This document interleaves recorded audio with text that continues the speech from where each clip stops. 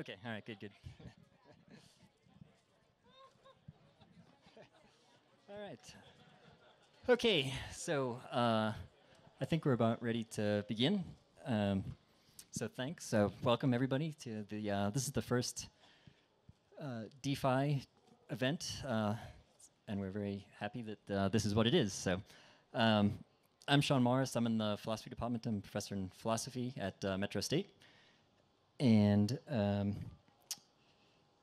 yeah, I'll just give you kind of a brief rundown of kind of how this is going to work. So uh, we do have, because there is going to be a discussion, we do have uh, lyric sheets um, kind of at the back. I think somebody can kind of send them around. Some of you already have them. It's up to you. You know, if you don't want them, you don't have to take them. But uh, there will be a discussion, so they're available. Um, what we're going to do, we'll, we'll first have um, Matt Makley from the history department at Metro State. He's going to come and talk a little bit about the historical context of the novel and such things. Um, then we'll have Ben Nichols come and play his, his album based upon the novel, uh, Blood Meridian. Uh, and then at the end, we'll have a discussion with uh, Matt and Ben, just see what happens there, talk about history, music, uh, why this novel is important to both of them, uh, though neither are novelists. And, uh, and then finally, at the very end, we'll open up to discussion, uh, questions from the audience and things like that. So um, that's about it. The first thing is uh, the person who's headed up the sort of DeFi program in general is uh, Adam Graves, professor also in the philosophy department. Uh, so he's just going to kind of come up and say a little bit about it, what exactly we have in mind, other things that we have going on, and so forth and so on. So again, thanks for coming out tonight. And uh, here's Adam. Thanks, Sean. And thank everybody for coming out. Really appreciate it. This is a, uh, uh, I, this is the realization of an idea that has existed only in the mind for a very long time. So it's really, it's really uh, great to see it manifest in reality. Uh, and we're really incredibly thankful, honored, and thrilled to have Ben Nichols here for uh, what amounts to DeFi's uh, kind of kickoff event. So thank you, Ben, for coming out. This is really fantastic. I promised not to talk very long. I said that I would be done before the last pale light uh, disappears from the western sky. So, uh, real quickly, what is DeFi or the Denver Project for Humanistic Inquiry? I mean, in short, what I heard someone say about literally two minutes ago, thank God, because I had nothing else to say if I hadn't heard this, uh, basically, this is like the coolest college class ever. so that's part of it. But the humanities really, um, you know, we know that Denver's been a center for, for arts, uh, obviously, a great music scene. Uh, a, a, great scene, great brewery scene. Um, but we'd, we'd like to uh, do something to kind of cultivate uh, the the humanities in Denver and make it make this uh, city a, a, kind of a center for humanistic inquiry. What is humanistic inquiry? What are the humanities generally? I like to say, without sounding too heady, that the humanities basically represent our effort to understand ourselves and the world better through the interpretation of great artistic works like Blood Meridian and Ben's inspirational uh, album. Uh, DeFi, honestly, is not. It, it's a it's a citywide humanities forum, or what we like to call an extravaganza, really. And all of our events are intended to be interesting, uh, creatively orchestrated, not stuffy at all, but rather the sort of thing uh, that we're doing here tonight. I mean, I like to say that all DeFi events basically sound like the premise to a really bad joke. Like tonight, we've got you know a historian and a rock star walk into a bar. Um, so Anyways, uh, so please do, if you haven't gotten this little postcard, on the back of it, you'll find uh, a calendar of upcoming events. So please do uh, like us on Facebook, uh, find our website. Uh, please attend our events. Most of our, many events are free. They're all inexpensive. Um, and we're partnering with various like-minded cultural institutions throughout the city, uh, such as History Colorado, the Denver Center for Performing Arts, Ratio Brewery, um, so a lot of really cool people are involved. Um, so lastly, I just want to thank a few people. Want to thank MSU Denver for supporting this initiative. Uh, I'd like to thank some of my work study students, uh, Gabriel, for example. Uh, I'd like to thank uh, Zach and his entire team here at Ratio. You guys have just done a fantastic job. Uh, we couldn't have done it, obviously, without all of your help and support. And finally, I really want to thank Sean uh, Morris, who just introduced me. This was really his brain, uh, his brainchild, his labor of love. He he came to me with this idea, and I said, Sean, you're totally crazy. What are you thinking? And uh, within 24 hours of advertising this event online, I think we sold half the tickets. Uh, incidentally, I still think he's crazy.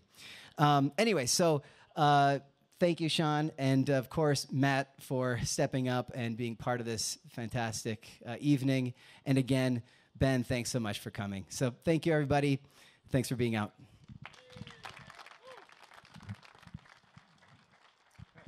Well, thanks very much, Adam.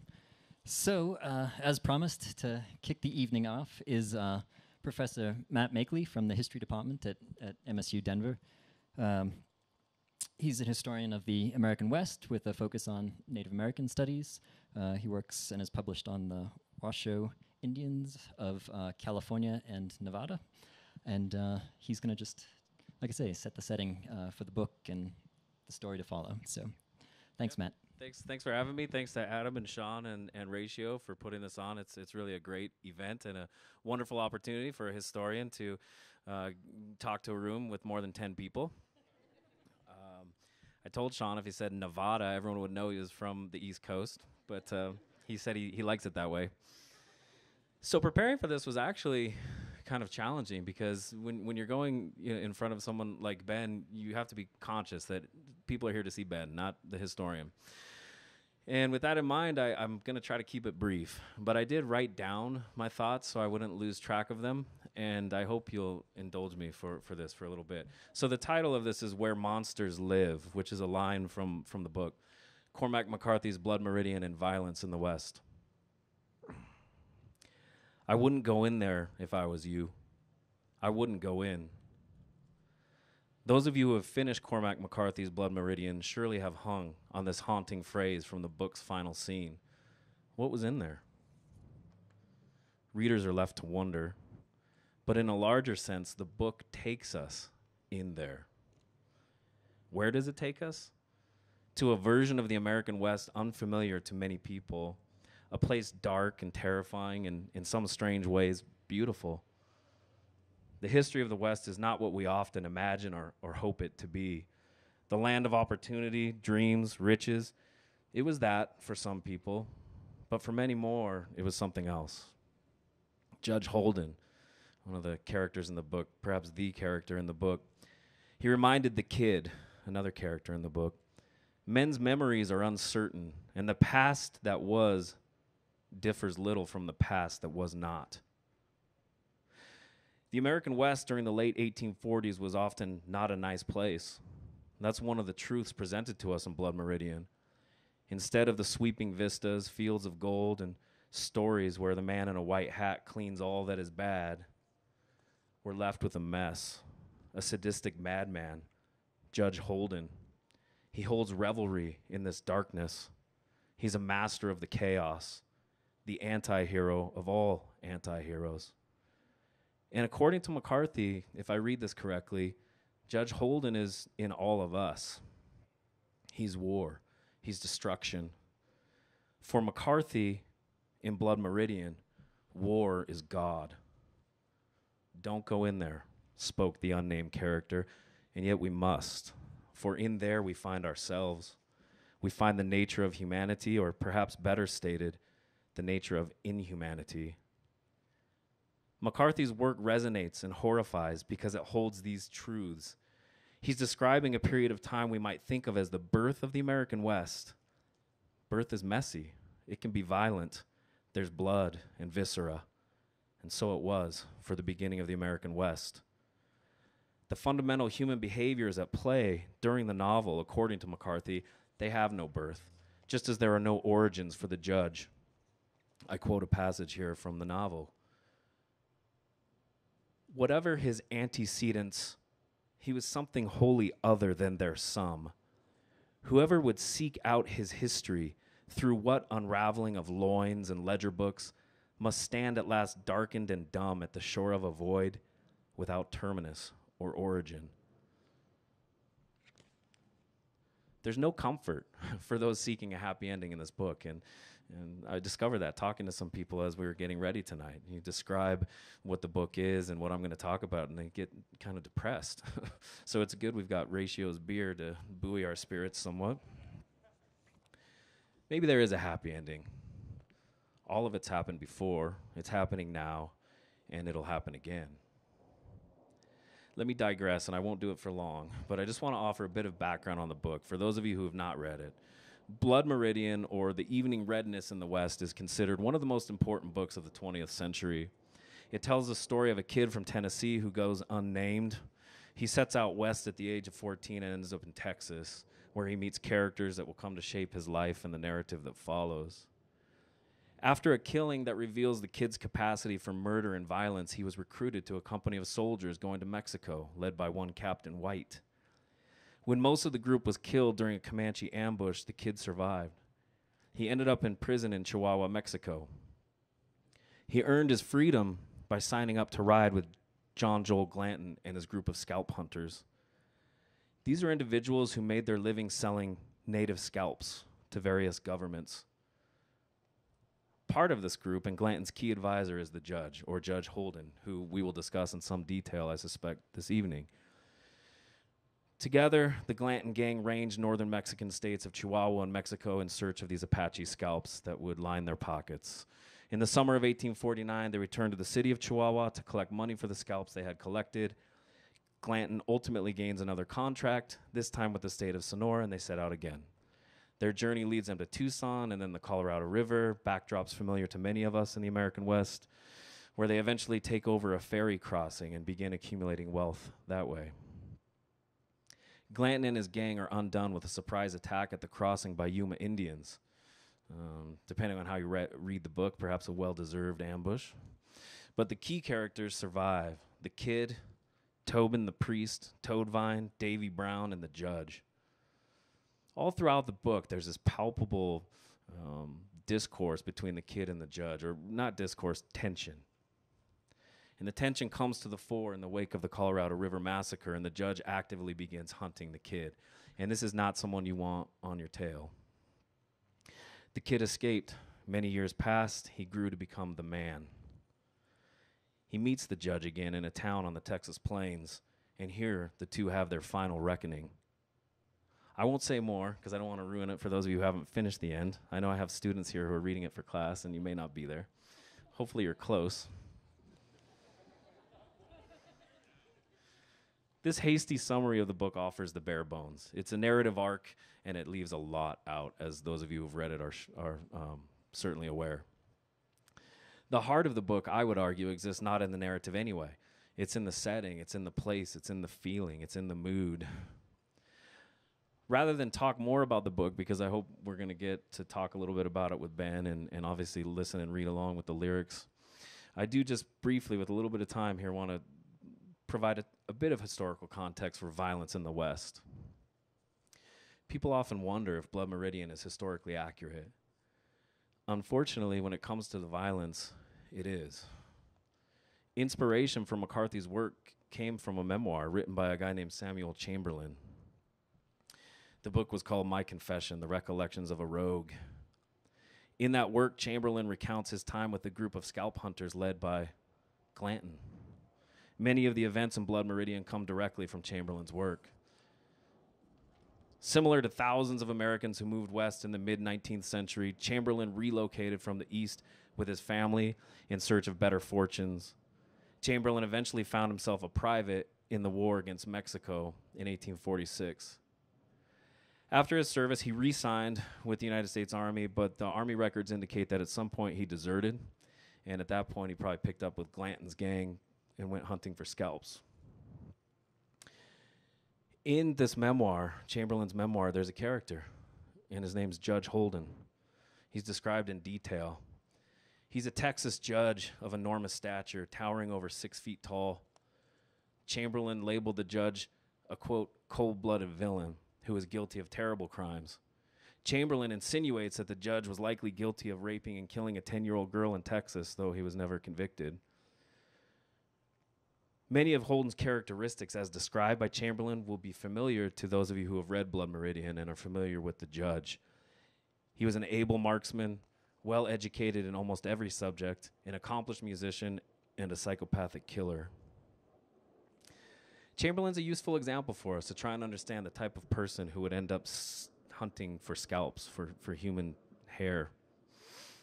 A long, winding train of events led him to that passage. Most, like Chamberlain, didn't set out early on to become scalp hunters. Instead, the opportunity for financial gain was the most pressing motivation. How common were scalp bounties? We hope when we read this book it's just make believe or confined to a few places. They were common. In fact, colonial records from early America indicate that in 1700s, beginning of the 1700s, the colony of Massachusetts was offering money for Indian scalps. In the time period portrayed in Blood Meridians, obviously much later, scalp bounties were common across northern Mexico. The northern Mexican states existed far from the centralized authority down south of Mexico City. And from the start, as a nation, Mexico was, was quite turbulent. There was a lot of internal strife. Their, their principal economy was extractive, mining, and, and farming, and it was in tatters following their, their Revolutionary War. So they weren't in a good place to defend their northern states. That left them largely vulnerable to raids from Comanches and Apaches. And certainly the Comanche took advantage of that. There had long been a vigor- vigorous trade in goods and slaves and, and scalps across northern Mexico. This commerce included at various times many native and European nations, including Utes, Shoshones, Navajos, Apaches, the French, the Spanish, ultimately the Americans. Violence plagued the dealings of these nations in the region, and the Comanche were supreme for a while. They set the exchange rates. They made sure they knew who was coming and going in their country, and part of their vast expanse included northern Mexico. Here, it's, it's worth just briefly mentioning a couple historical monographs that would be helpful to read if you're interested in this topic. Um, one of them is, is Brian DeLay, and it's his work, A Thousand Deserts, A War of a Thousand Deserts, rather, Indian Raids in the U.S. Mexican War. Uh, Brian was formerly a professor at Boulder, and now he's at Berkeley. Um, but he studies this borderland region real carefully in this time period, and he concludes that northern Mexico was severely weak by the time Americans launched their war against Mexico in mid 1840s, 1845, 1846. Because of the constant raids and the killings in Mexican towns, government officials had turned towards these scalp bounties. It was an effort to more or less rid their municipalities of this constant fear. Another book worth looking at is Ned Blackhawk's Violence Over the Land Indians and Empires in the American West. Ned's a professor of history at Yale, uh, and he seeks to contextualize this violence. He explains that the incessant killings, the kidnappings, the scalpings, they weren't the product of some bloodlust on the part of quote unquote savage Indians. Instead, he correctly interprets the violence as a result of colonial jockeying and disputes over resources. When the United States finally claimed much of what would become the American West following the war with Mexico, the violence didn't stop. In fact, it multiplied. Now, raiding Comanche and Apache parties could cross the Mexican American border freely to escape pursuit. Also, more Americans poured into the region, particularly after the discovery of gold in California. And it was quite a fortunate occurrence for the American nation. Gold was discovered at Sutter's Mill near what is today Sacramento, California, um, just weeks or months after the ink had dried on the Treaty of Guadalupe Hidalgo, which ended the Mexican American War. And I, I often like to ask my students, you know, what, what would have happened if that gold had been discovered when it was still part of Mexico? Might make for a good novel. Well, with the gold, there was a resulting rush of people to the area. One historian has explained it as if uh, someone took the American continent and tipped it, and, and all the population spilled from east to west. But they weren't just coming from the east coast of the United States, they were coming from around the globe. They were coming from various parts of the globe and, uh, and all over. And it's a well known fact that several California towns maintained scalp bounties beginning in the 1850s. On at least one occasion, and this is well documented, the California state government compensated towns who had paid individuals for hunting scalps. The state, in turn, submitted their costs to the federal government, who paid them. So you have the state of California and the federal government paying for Indian scalps. There were also dozens of known massacres, mostly concentrated close to the diggings or the center of the mineral strikes or other important resource areas such as the, the dense forests in the North Country, the redwoods and the sequoia, the fishing grounds off the Pacific coast.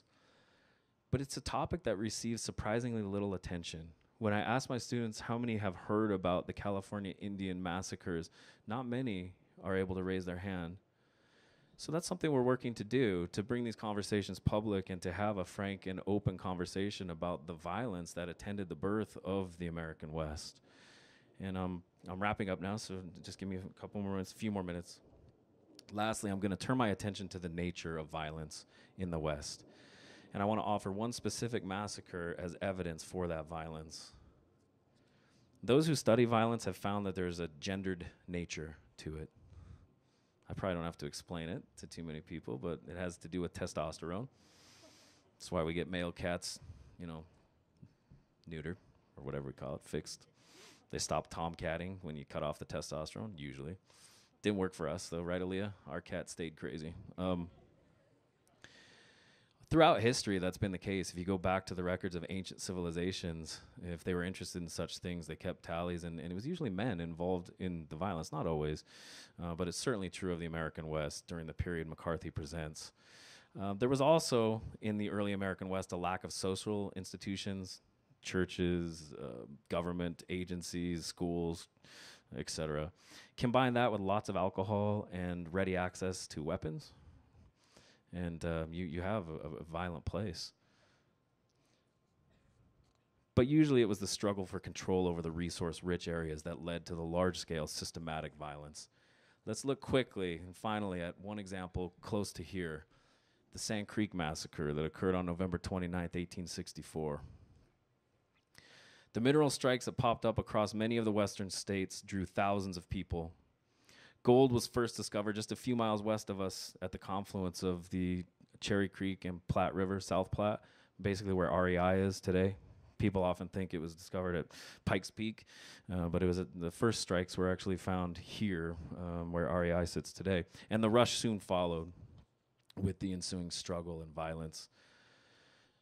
During the Civil War, the territorial governor of Colorado, a man named John Evans, who's the namesake for Evanston, Illinois, and um, Mount Evans here in the Front Range, commissioned a volunteer regiment to hunt down quote unquote hostile Indians.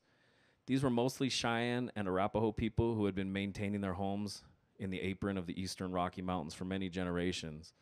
And these folks obviously suffered terribly with the incoming people because their resources, the heart of their existence, was being cut into. Um, particularly the destruction of the bison took a terrible toll on Cheyenne and Arapaho people who set their calendar to their bison harvests. With few options available to them, many Cheyenne and Arapahoes turned to arms. Still, many did not. Two of those who did not were the Cheyenne leaders Black Kettle and White Antelope. Intent on peace, they made the dangerous journey to the nation's capital at Washington, D.C., where they met with President Abraham Lincoln. Lincoln accepted their peace gestures and in return offered tokens of American peace. For Black Kettle, he gave him an American flag. White Antelope received a medal, a peace medal that he wore around his neck.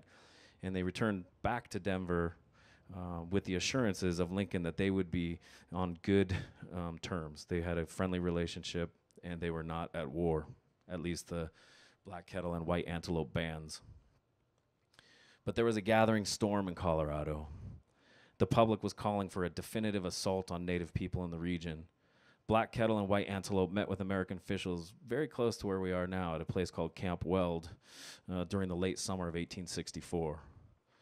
They met with people like uh, Major Edward Wynkoop, the namesake for the brewery in the street, and a representative from Governor Evans' office was there. Um, they were told if they took their families to an American fort, Fort Lyon, on the Arkansas River in southeastern or southwestern Colorado, they could live in peace. So that's what they did. They brought hundreds of their followers with them. They surrendered and were instructed to set up winter homes on the banks of Sand Creek just north of the fort. In the early morning hours of November 29, 1864, the Colorado Volunteer Cavalry, led by Colonel John Chivington, descended on the sleeping village. Black Kettle flew the American flag that had been given to him by Lincoln outside his lodge. The cavalry, although aware that these were surrendered people living under American protection, set to killing. Black Kettle waved a white flag of surrender. He and his wife fled. His wife was shot over five times. Black Kettle survived by digging himself into the bank along Sand Creek. White Antelope was killed in front of his lodge wearing his peace medal Lincoln had given him. And I'll read now from a grim account, an eyewitness, a guy named Silas Soule. Those of you who study history in the area are probably familiar with his name. He's buried at Fairmount, I believe. This is Soule writing a letter to Wynkoop weeks after the massacre. Quote The massacre lasted six or eight hours, and a good many Indians escaped. I tell you, Ned, and here he's referring to Edward Wynkoop, it was hard to see little children on their knees having their brains beat out by men professing to be civilized. One squaw was wounded, and a fellow took a hatchet to finish her, and he cut one arm off and held the other with his hand and dashed the hatchet through her brain. One squaw with her two children were on their knees, begging for their lives of a dozen soldiers within 10 feet of them, all firing. When one succeeded in hitting the squaw in the thigh, she took a knife out and cut the throats of both her children and then killed herself. One old squaw hung herself in the lodge. There wasn't enough room for her to hang, so she held up her knees and choked herself to death. Some tried to escape on the prairie, but most of them were run down by horsemen. I saw two Indians hold one another's hands, chased until they were exhausted. When they kneeled down, clasped each other around the neck, and both were shot together. They were all scalped, as high as half a dozen times taken from one head. They were all horribly mutilated. One woman was cut open, and a child taken out of her was scalped.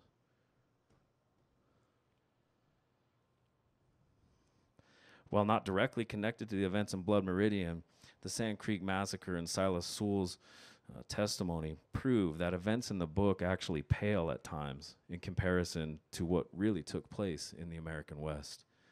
This violence is horrifying, it's heart wrenching, it's despicable, and it's at the heart of human nature, according to the judge and Cormac McCarthy in Blood Meridian. Thanks for your time. Let's hear from Ben.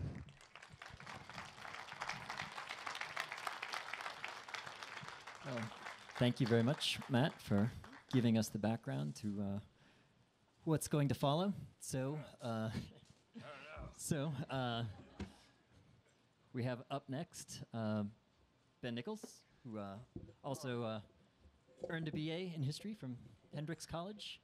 Um, and of course, as you also probably know him as the frontman for his band Lucero. And uh, he's also, as we said at the outset, composed this album based upon the Cormac McCarthy novel, and these are the songs that came from that. So, thanks very much, Ben. Thanks No, thank you for having me. Um, yeah, this is the weirdest show I've ever played in my life. Uh, strangest opening band we've ever had. Um, yeah. Uh, basically, I wrote this record. I'd read the book um, a while back, and then I was rereading it a second time, and there were just so many uh, just brilliant lines in there that I thought would make perfect that would fit well in a song. Um, and so basically, I went through the book and just stole all the good lines out of it, and then wrote songs around it. And that's why I'm here today, I guess. Um, um, all right, so the record starts with uh, the title track, "Last Pale Light in the West," which um, really, I guess, uh, is more just of a it sets the mood for the record. Um, all the other songs are are titled after different characters in the book, but this is the only song that's not titled after a character. Man, yeah, that light is actually horrible. Um, I can't see my fingers, and I'm not a good enough guitar player to play without seeing my fingers. Uh, maybe just move it over there somewhere. Will it reach over there? Awesome. I hate to be a prima donna. Thank you. Perfect, perfect. Oh yeah, that's a lot better. Um. All right, I don't play these songs often. We'll see if I remember them.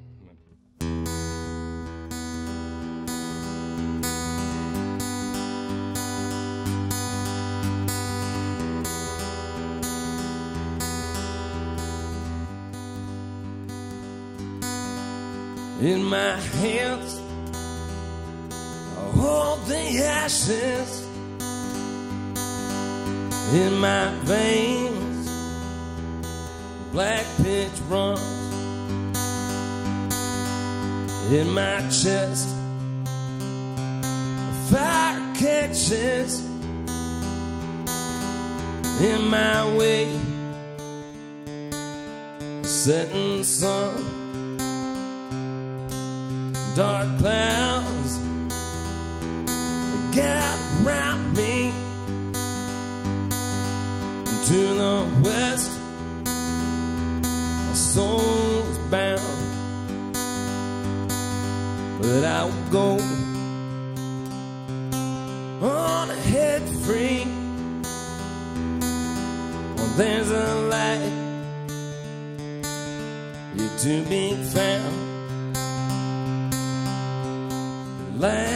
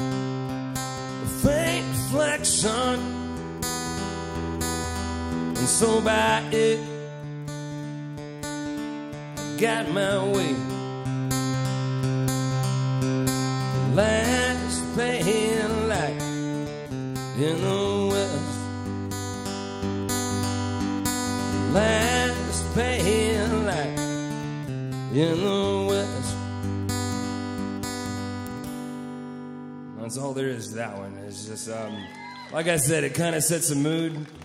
Um, and actually, at the time that I was writing it, I'd read Blood Meridian, but then I'd also read uh, the all the pretty horses and the crossing and cities of the plain and um, and the road and a bunch of other cormac mccarthy books and um, as bleak as a lot of those are um, in a few of them there was towards the end um, there was always a there could be a reference to light or something to follow and a path to actually um, pursue and so even with the bleakness um, he would give you just a sliver of hope sometimes um, and in Blood Meridian, uh, that last pale light line is it's very near the end of the book, and it's not made a big deal of at all. It's just a very random line that I just thought made a really good song title.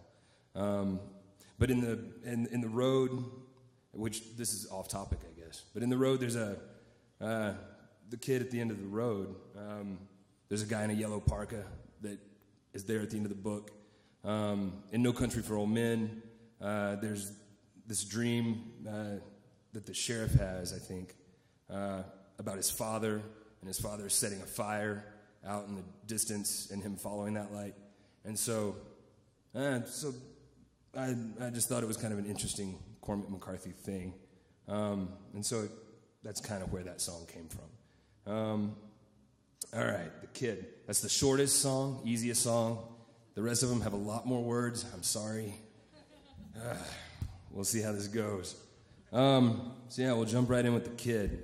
Man, I haven't played this song since I wrote it.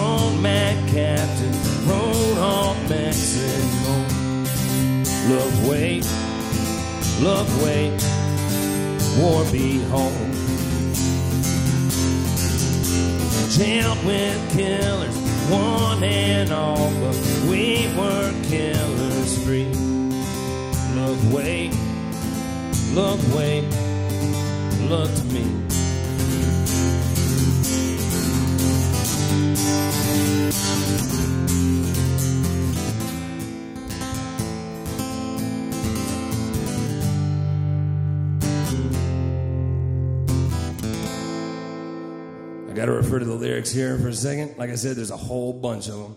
This happens at Lucero shows all the time. Completely unprofessional and, yeah, not really making that good use of my, my history degree.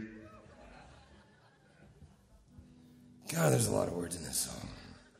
And I guess after, when I play the second half of the song, after I'm done with it, oh, God, I need glasses too. Um, yeah, maybe I guess maybe after like what should we do? We never really figured out a format. Like after I play the songs, should I kind of go back through them and discuss them now, or do we discuss them later? Kind of whatever whatever I got to do, huh? All right. All right. All right. Oh man, this was such a good part too. This is oh man. Okay. You know what? Can I borrow that stool? Try to prevent this from happening again in another song. Can't make no promises though. No, no, the light's good. It's just the stupidity that's really, really messing me up. All right. Joe Brown, could you hand me that beer over there, please? Ah. Man, this is an awesome brewery. Tasty, tasty beer, but there's a severe lack of whiskey. Thank you very much. Thank you. But, but cheers, anyways, y'all. Hell yeah. Mm. Mm. All right. Oh, God. Well, hell. Yeah, this will work.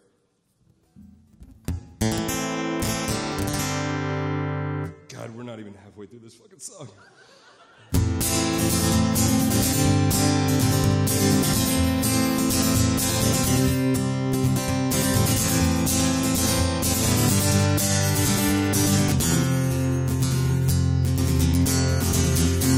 Signed on with Stone Mac Captain, rode on Mexico.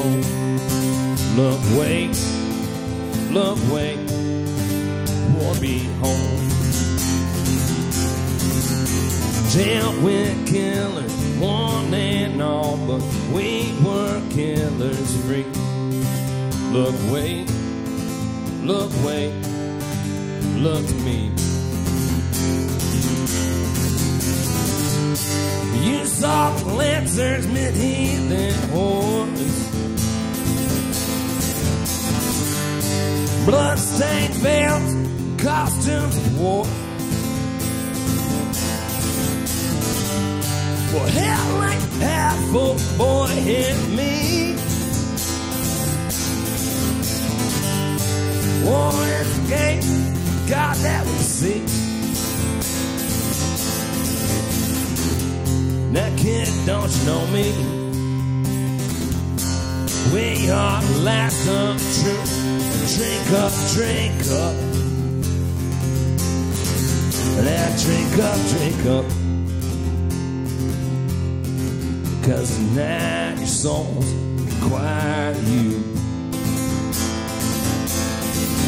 That we set out as men of reason, armed with navy Colts. Look, wait, look, wait, we're paid in gold. Houston went to yourself. I tried, you did betray. Look, wait, look, wait, Judgment Day. Killed in the desert, we killed in the streets. We saw what shall and what shall not be. We stood with pistols from back to back. And now you stood your ground, but what ground is that? That kid, don't you know me? We are last the truth. Now drink up, drink up. Now drink up, drink up. Because now your souls require you. All right, we made it through. Thank you very much. Oh. A little rough around the edges, but we made it. Um, so yeah, that uh, that song's called "The Kid," but really, it's kind of written in the voice of Judge Holden, um, who, yeah, in that last scene that Matt referred to earlier, um, he meets the kid in a bar, like uh, I don't know, years, years after most of the book takes place. Um, and yeah, that line, drink up, drink up, tonight your soul's required of you. How can you not put that into a song? Oh, man. So that's where that song started. And then there's, yeah, basically I just went through the book and tried to put as many details and steal as much stuff as I could in there. Um, and I was really nervous before I came here, and I, I actually went through the song, and I've got page numbers for every, pretty much every line in there. So we could, I could refer you to exactly where I stole every line of that song from. I rephrased it in my own words sometimes, but it's just pretty bold theft. All right. So, if I remember correctly, next song uh, is Davy Brown, who's uh, he's one of my favorite characters in the book. Um, just a just an asshole, just a just a yeah killer. Um, but he's got some really brilliant moments in the book where uh, where he actually stands up to the judge uh, a few times, um, and so he kind of has my respect for that.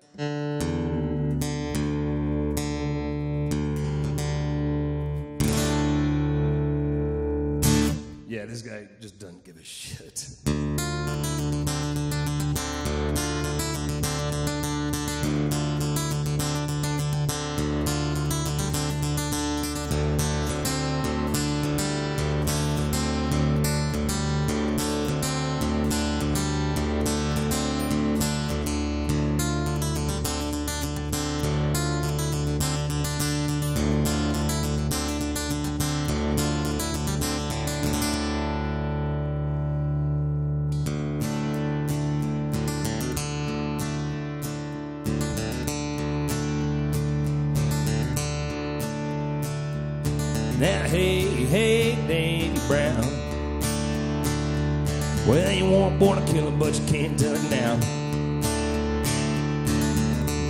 That shotgun, it's on on down.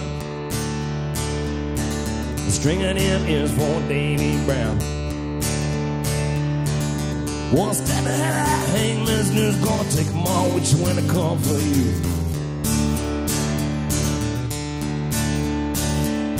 Now, hey, hey, Davy Brown. Well, keep your eye on the corn and your ear to the ground. Whitneyville Colt cut a bunch of men down.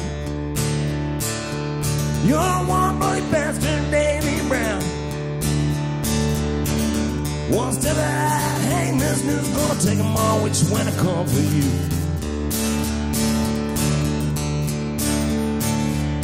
That Davy Brown, Davy Brown, where you gonna be when the hammer comes down? Can you outshoot the devil, out outrun his house? Ain't nothing to it but the devil ground. Hey, hey, Davy Brown. Well, you woke up in jail for the last time now. You set a bonfire in a West Coast town. It's a dance with the gals for Davy Brown. A dance with the gals for Davy Brown. He don't believe in hell, but he figures somehow, even if it's real, it's gonna spit him back out.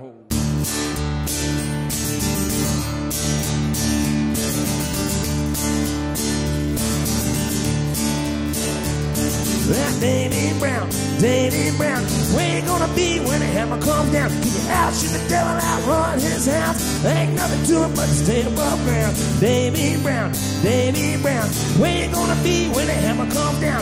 Out, shoot the devil out, run his house. Ain't nothing to it but to stay above ground.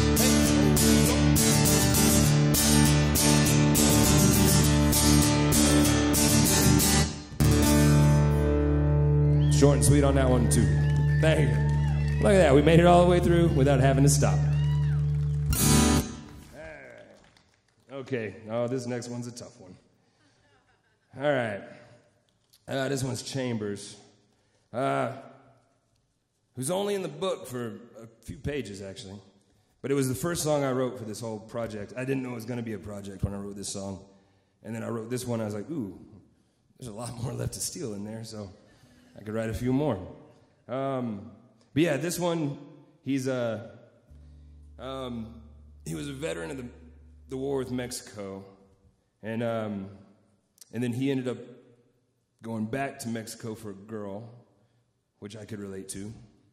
Um, and then yeah, he ended up in the same jail uh, with the kid, and uh, and ended up in the Glanton gang as well. Um, and yeah, his story is just extremely tragic, but uh, uh, it really, uh, hmm, it made a big impression on me for only being two pages out of the book. So we'll see how this goes. I can't see that. I can't even read that. I don't know why I'm looking at it. All right, so let's see how this goes. Ah, man. So, how many of y'all have read Blood Meridian? Yeah? Show of hands. All right, all right, fair amount, fair amount. Yeah. It's a bitch of a book, man. But it is my favorite novel, actually. All right. Yeah. Played Red Rocks the other night. It was awesome. This is 10 times more nerve wracking, though. Yeah. This is, this is absolutely horrible.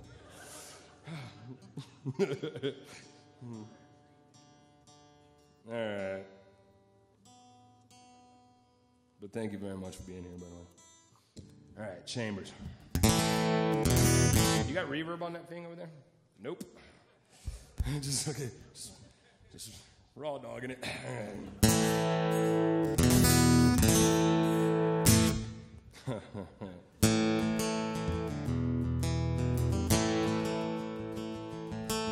Born under South Kentucky sky. You come west to Mexico to fight. 1842 at Mier, gunners filled blood and fear. Barely made it back to Texas alive. With Missouri volunteers when the war began. 46 they crossed Rio Grande. And there he met his dark-eyed love. Said goodbye when the war was done. He swore that he'd come back for her again. Oh,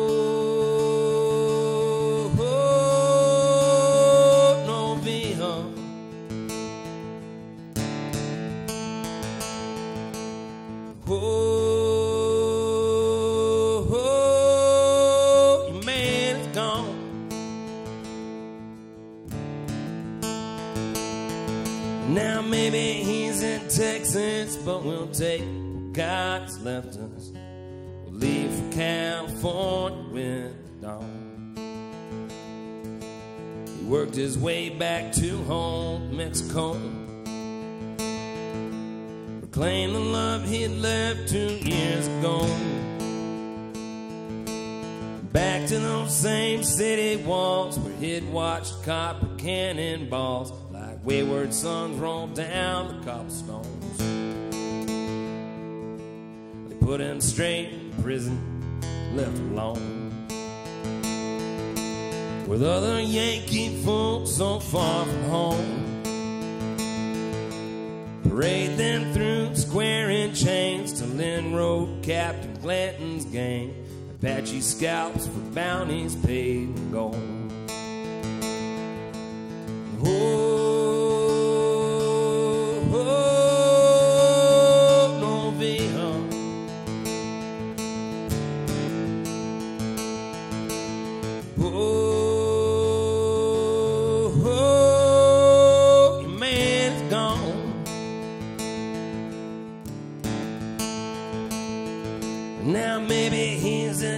But we'll take what God has left us. We'll leave for California with the dawn. Glanton's men were killers all by trade. Through the prison bars, a deal was made. Glanton needed three new men. He hired this lovelorn veteran. Killers rode out through the governor's gates. The veteran left camp before the rising sun. No killer had left other work undone. But He was not yet two days out when Glanton's naked native scouts brought back his empty horse, his brand new gun. Oh,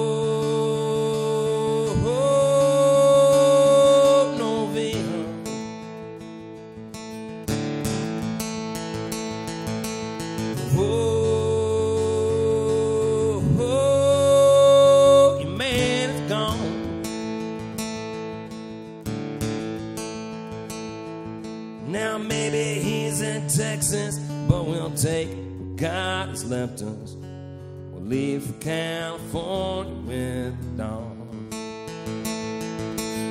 Maybe he's in Texas, but we'll take what God has left us. We'll leave for California with the dawn. Chambers there. Thank you very much. Thank you very much. Um, yeah, that one, that one I had to do some research on. There's a whole lot that's not in the book that I kind of I Google searched and just kind of made up, um, kind of a history for him. I didn't know the word novia before that night, before I wrote it. I don't speak Spanish. I had no idea what that meant. Hopefully, I used it correctly. I don't know. Nobody's called me out on it yet. I don't know. All right. Okay, just a couple more here. Um, I would have written more, but I ran out of time because I had to go on tour with Chuck Ragan. And so, yeah, he's, he's a badass. Um, so, yeah, so we only got six with words. And then I made The Judge, I made that an instrumental song just because I figured, well, he had a lot of time in the kids' song. And then really summing up The Judge in words just kind of seemed, uh, nah, not productive. Um, possibly impossible, actually. All right, Tobin, though. Tobin. Tobin's the ex priest that's uh, riding with the Glanton gang. And uh, yeah, yeah, he had some real good stories. We'll talk, we'll talk about those later. All right.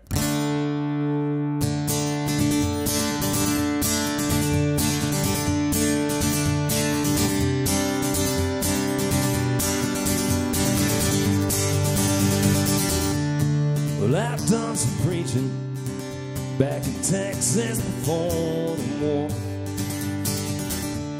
And now I hunt heathens, cause it pays better than the Lord.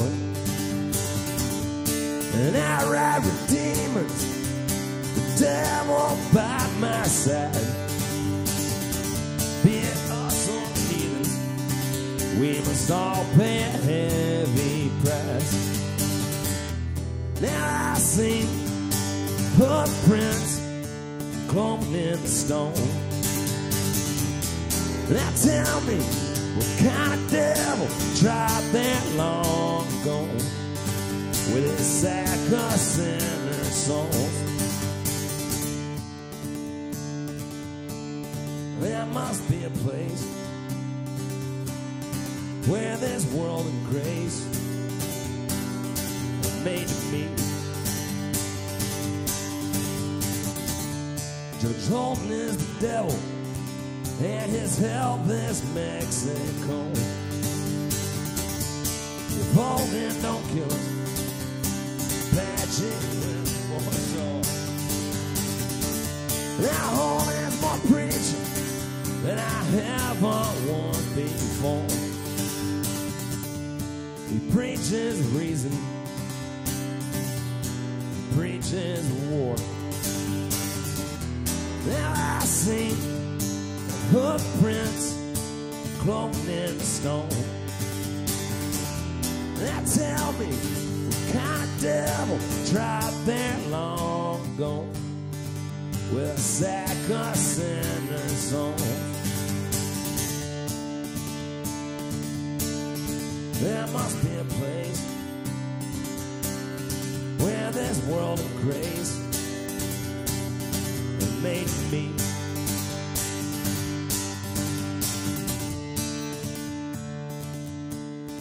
Says his life's game.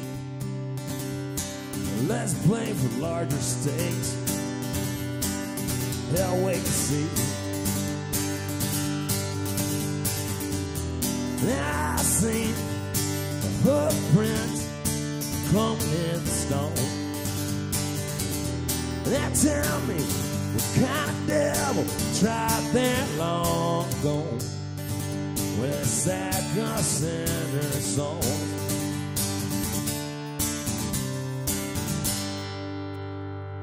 Tobin, the ex-priest. Hmm? Yeah. Yeah. Yeah, the, the hoof prints and the rock.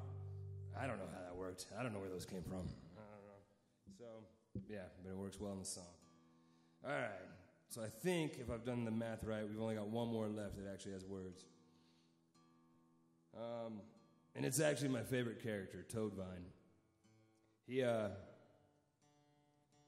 he's got no ears. Um, they got chopped off.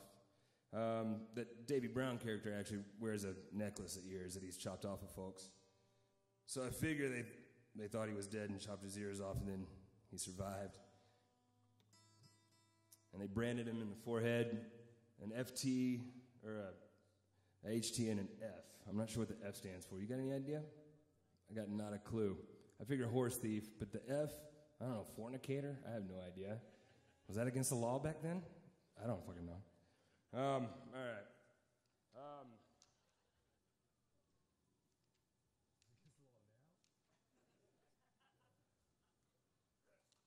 all right. I shouldn't need these. Um, what else about Toadvine? Oh yeah, actually, this song it's got a few lines in it that weren't actually about him. Uh, some of them are a conversation the kid was having uh, with an old Mennonite, and uh, um, some of them I just kind of they were good lines, and I kind of put them in the song just to make the song better. Um, so it's not strictly about Toadvine, but um, but I think it kind of sums up his mm, I don't know, just kind of his character. Um, yeah, he's got all the funny lines in the book too. Everybody says the book's really bleak and depressing, and it is. When I was going back through the book for this thing, I was I put a little smiley face about all the funny parts, and there's actually more than you would think. And a lot of them are Toadvine. Toadvine's kind of hilarious, son of a bitch. Mm. All right, but this one I don't know if any of them are in. Oh, there's one. Yeah, there's one in this one. Yeah, the what do you, Hey bartender, what do you got to drink with just just a minimal risk of blindness or death? Fitting singing the word minimal, that's a fucking chore. It doesn't roll off the tongue. All right. So yeah. So we'll play this one and then we'll and then we'll talk about stuff. Okay. I might need to go across the street get a shot of whiskey before the discussion starts. Thank you.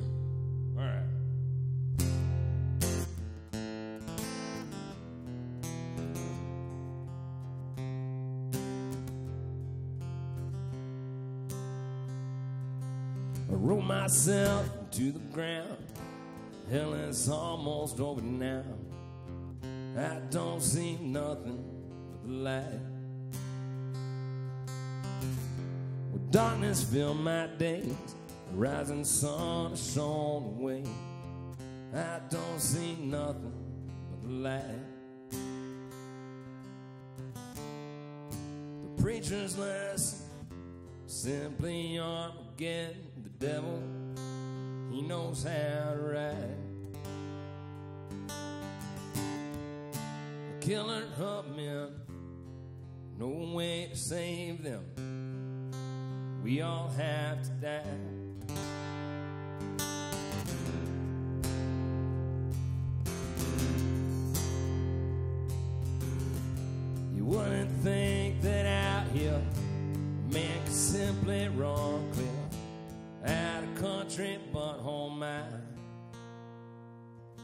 Oh my,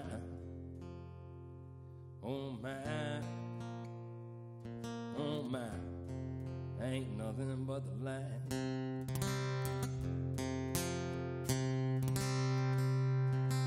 It took my ears and all my heart.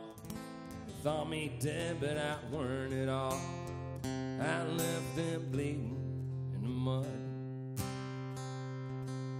Branded me for horse thievery between my eyes for all to see. I left them bleeding in the mud. When this world was made, it was never meant to save everyone in kind.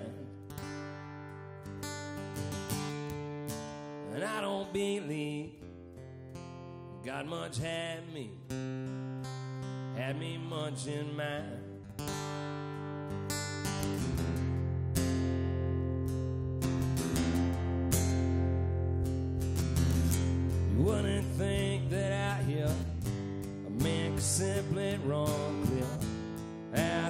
Country, but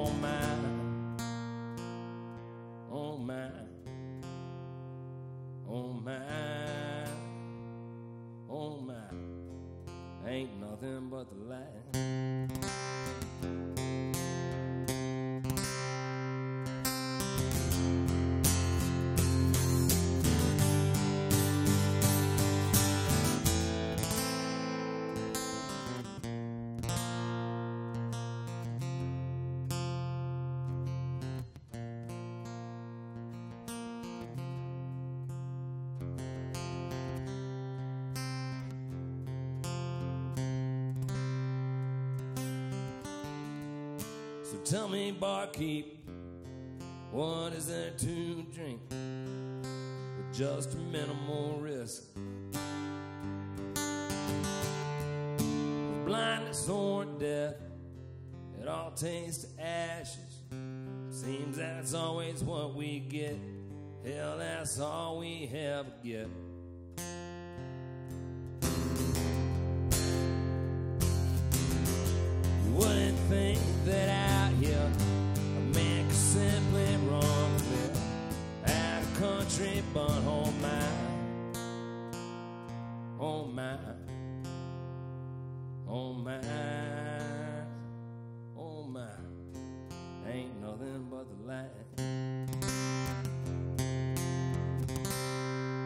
Mm, yeah, that's Toadvine.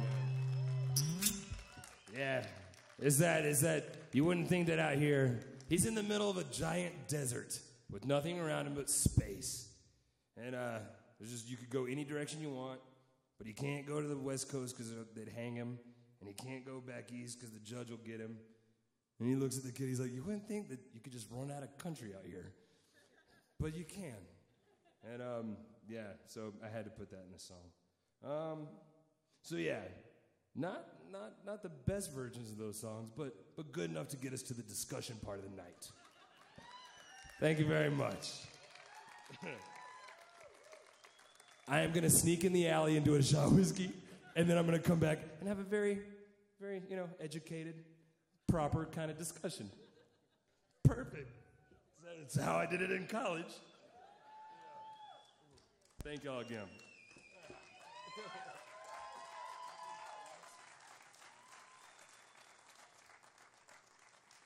We could um, we could take uh, ten or some, something like that. You want a little just a yeah, that's what I would guess too. So uh, 10, 15 minute intermission. Yeah, we'll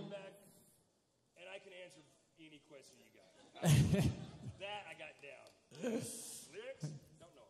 The questions I can answer. all right. So we'll reconvene in a little bit. Thanks very much.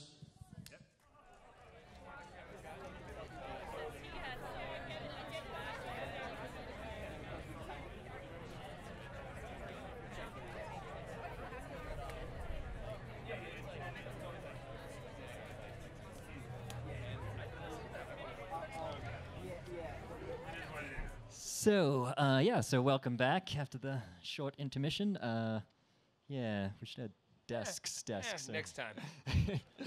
but um, so yeah, so now we're going to hopefully have a discussion, uh, and uh, we'll see how this goes. Like I say, we'll talk a bit up here, and then uh, then we'll open it up to questions from out there. So uh, so here we go. um, What do you got? yeah, so I figured uh, at least to get it going, rather than just say talk, uh, I'll throw out at least one general topic, and uh, you know, all of this is for both of you. So uh, feel free to weigh in, or if you find out that you'd like to pass, Fair enough. that's good as well. So Good to know. Good to know that I could pass. always an option. Yeah. So It doesn't work very well in the middle of a song. I tried it. well, you know. it's- sometimes you got to do it. That's yeah. That's how I always tell the students. Let me think about that. I'll get Yeah, back to you I'll get next back to time. you yeah. So, um, yeah, just so to begin, so part of thinking about all of this, for me in any case, was having two people talk about the novel who are not, say, English professors. Uh, that's part of what made it interesting to me. So, a musician and a historian. Um, so, with that in mind, so just the first thing I was going to kind of throw out there to both of you was just to talk a little bit, and we've heard a little from Ben, but you can say more if you have more, um, just about reading the novel and, and how that you know, in one sense led to an album, and in another sense leads to you know a book that gets read in your your course, and uh, you know thinking about history and and its impact on you in that sense. So uh, there you go. S- That's what we're starting with, That's huh? what we're starting with. Yeah. Pass. it's all you. It's all you. Don't give it to me, Ben. I get Oh, paid to talk. man. People would rather hear from you. But Well, just get just get it going. well, I told I told Ben a minute ago that I, I listened to his album, The Last Pale Light in the West, over and over again on a recent road trip. We were driving to San Diego, and it was the full moon, the blue moon recently. Uh, my wife and the two teenage boys were sleeping. And so I just put on repeat, and it was the perfect place to hear it, honestly, uh, with the landscape and the moon hitting everything. Um, you, your album really brought life. It added dimension to a book that you know, I was just speaking with a friend, uh, Braden. It, it's it's not that accessible. the Right. first first time you read it. Yeah, no, it's uh, it's a very dense piece of work. Um, but speaking of um, landscape, I mean that's that's a major part of the whole novel, um, and kind of a character unto itself. Absolutely. Um, ah, hell, it probably deserved a song of its own. Uh, too lazy to write it. Um, but yeah, I mean, he goes very in depth into you know just the types of plants, the types of the, uh, and I don't know what these plants are that he's talking about. I have no idea what they look like, but it but it flows into the narrative, and you know even if you don't specifically know what a specific plant looks like and what this landscape is, you get a general idea of it that definitely affects you know your perception of the book and the mood of the book. Um, I don't know. Next question. Well, that wasn't even an answer to your question, was it? Sorry, it's, it's a discussion, so Could you repeat the question, please? trying No, to you- avoid you this already passed being on it, Just Ben. an You interview. passed. So, I passed. yeah, You're right. All right. Woo. you're safe. Next question. All right. Well, actually, This is going great. so far so good.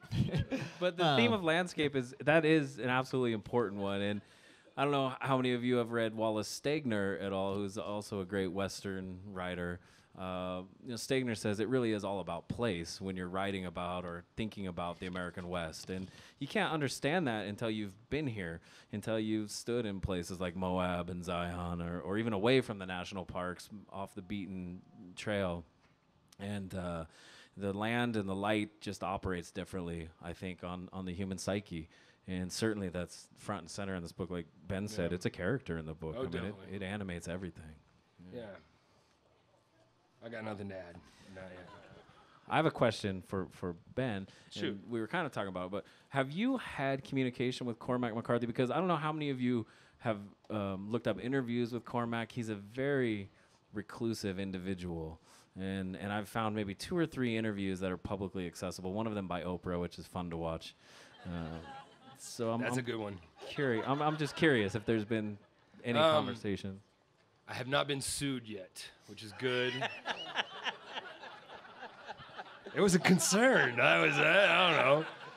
I'm like, uh, there's some lines in there that are pretty much word for word. So I don't know how that works um, in the law. But um, but no, uh, no, I've never actually. No, Cormac has never shown up at a Lucero show.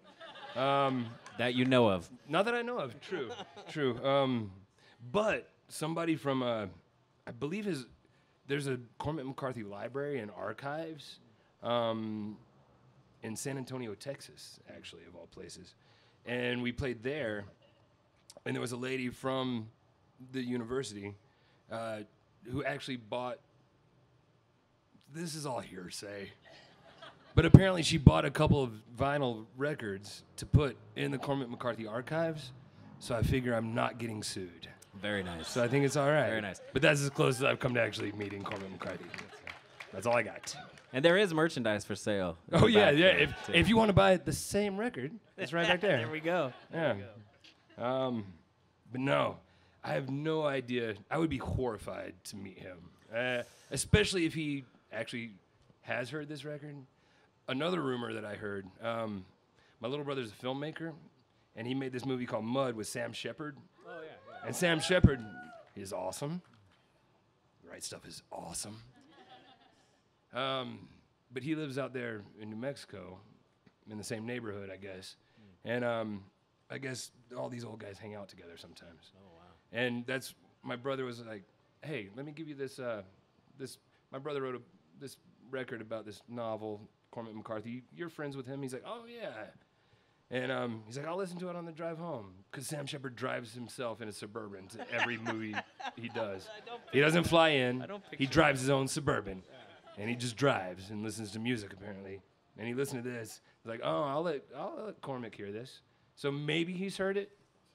Maybe I have no idea. So yeah, I think we answered that question pretty good.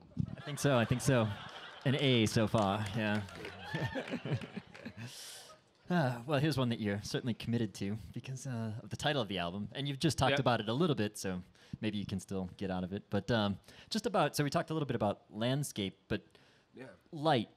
So landscape is important to the novel, but but that theme of light, like Right. you were saying, the title of the album and the song, Yeah. you know, comes from a, a fairly obscure line. Like if you're reading through it and you know the album, you're almost like, wait, is this where this happens? Cause yeah, you could read past it and not even know you read it. But then there's but throughout the novel, you keep going and you see all this stuff of you know the redness, the setting sun, the rising sun, and things like that.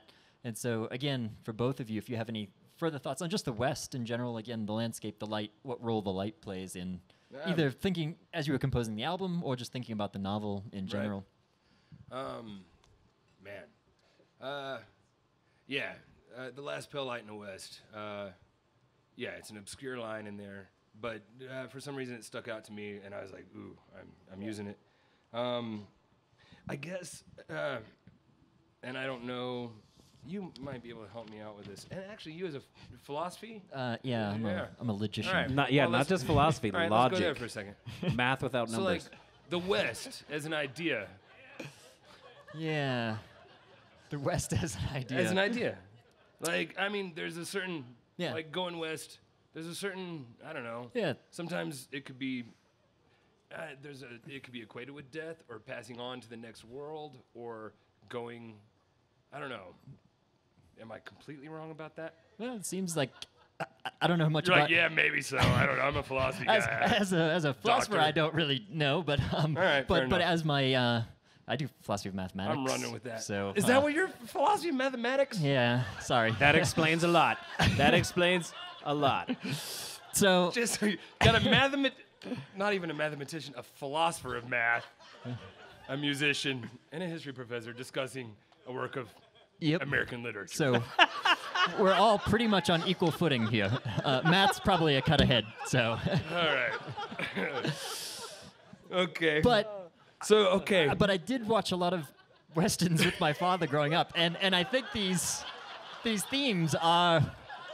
I mean, it is part of the whole western, you know, legend, and and one you can treat it as like, you know, uh, right, I'm listening. I'm totally in.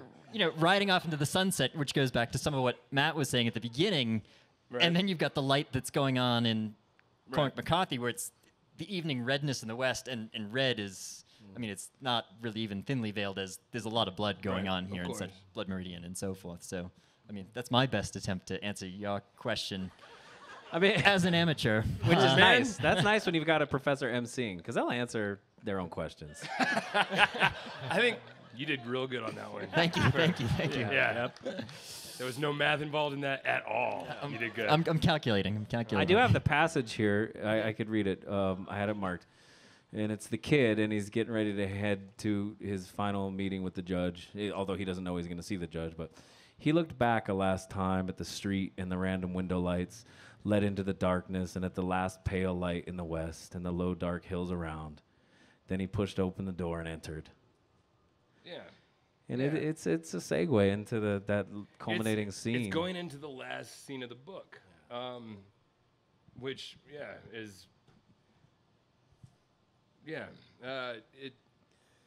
I don't know. Uh, God, I'm horrible at this. Um, but it's it it's a very subtle line, but I, I do think it's significant. It And absolutely is. Cormac McCarthy knew exactly what he was doing, um, writing that because it is, um, it's a good introduction to the fine, the final scene of the book. It is, and without giving too much away or giving all of it away, you know, it's the last time he'll look into that light in the west. Right. Yeah. Um, and yeah, I don't know where I got this from, but uh, the fading light in the west. Um, I don't know. Uh, there is a there is a certain passing on. Um, there's just kind of a, an, an idea of the west being where the soul might go um, after this life. Um, you go, it, it disappears into the west, and um, and so uh, so that line was significant to me for I was reading into into it whatever bullshit I've got in my brain. Which- but That's a beautiful thing about literature and, and lit review. You don't have to have the right answer. There isn't, you know, a right answer. It's that's how why it I was no good you. at English in, in college. I was better at history because there is a right and wrong answer. See, this is a times. history major right here. If this isn't success, I don't know what is. I mean, so we we got to market the hell Ask out my of that. girlfriend. It's not. It's not success. All right. All right. Let's try some. Let's try another one. Okay. Well, um, so you've we've been gesturing at it a little bit. We're getting to the end of the book, and I don't want to ruin it, though. At the Let's- same time, I've read the end, and I'm not sure that I know what happens either. But um, I think. But- li- I think that's. I think it, that's intentional. yeah, yeah. And so that was if if I could throw it out there, and again, everybody can pass if they don't want to talk about it. But um, but th- this final scene, which also to ask about the song you didn't play, uh, right? The judge is the only instrumental Right. on the album, and also for the the final scenes of the book. I mean, you've just read this book of violence, like unimaginable. They describe it all, and then you get to the end, and like I say, I, I don't really know exactly what happened. It's a silent moment. So I was just curious if that was intentional on your part, or if you have Intentional on my uh, part, uh, making describing the the judge, judge, an instrumental an instrumental, and, and it's his final scene is also one that's in a way fairly silent, at least compared to everything else you've seen him do. Oh yeah, I, I mean, I mean, I guess after, I mean, after the scene in the outhouse, the judge goes back in, and he's like, he's dancing. He's like, I'm gonna live forever. I never die. Um, He's dancing naked, I think, right? Isn't he? I Again, know, I, don't think he is. naked I thought he was at that He's one. naked a lot, but not not then. No, I don't think. Um, they did shoot the bear. The bear is dead, yeah. but he's yeah, but he but he lives forever. He's the yeah. I mean, I don't know if he's. I don't know if he's the devil. Right. I think the devil might be. The devil might be too um, specific a term. You know, the devil might be the Christian version of what the judge might be. Um, but I have a feeling the judge is more universal than that. Um, there's probably a judge in all faiths and all, you know, philosophies. Um, Even math. Even math. There, there are no morals in logic, as one philosopher said. So- There's no, morals are not important to the judge. He says it over and over. Morals have nothing to do with it. That's a that's a man-made concept. It's a concept you have in your brain that yeah, that doesn't actually affect the math of the fucking universe.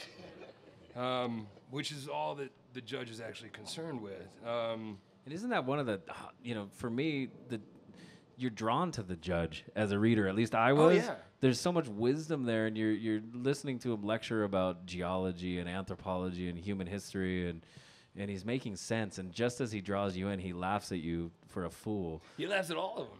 And then, like, he, there's a scene in the book where he actually kind of converts them. Yeah. Um, and oh man, maybe it was he was talking about languages and and why why there are so many different languages and. Uh, and, but and he's talking to these basically he's talking to these uneducated Yes. killers Yes. Listening to him, all of them. and he's talking some pretty highbrow stuff yes. and but even them, he he he draws them in, and by the end of his philosophical talk, they're like, "Man, yeah, you makes sense. Man, that's probably right." and then he laughs at them for fools, um, even though, yeah, what he said was exactly right, probably. This is such a critical passage, and, and I like Ben's version way better, but I'll, I'll read just briefly. The judge is holding court, and he's talking, as Ben suggested, to a group of uneducated scalp hunters sitting at his feet. And they're talking about the Bible. And the judge said, Books lie. Someone responded, God don't lie. No, said the judge, he doesn't. And these are his words. He held up a chunk of rock. He speaks in stones and trees, the bones of things. The squatters in their rags nodded among themselves and were soon reckoning him correct, this man of learning, in all his speculations. And this the judge encouraged until they were right proselytes of the new order, whereupon he laughed at them for fools. Yeah, yep. That's man. You're you- good. That's you wonder- exactly the spot. But you wonder as a reader, you wonder as a reader, is McCarthy doing the same thing to us? I mean, well, I think that's what makes the judge so scary, is that he's. I mean, that sounds exactly right to me too, and maybe I'm a fool as well. But that sounds, yeah, he hit the nail on the head. Exactly. And yeah, I mean, his whole.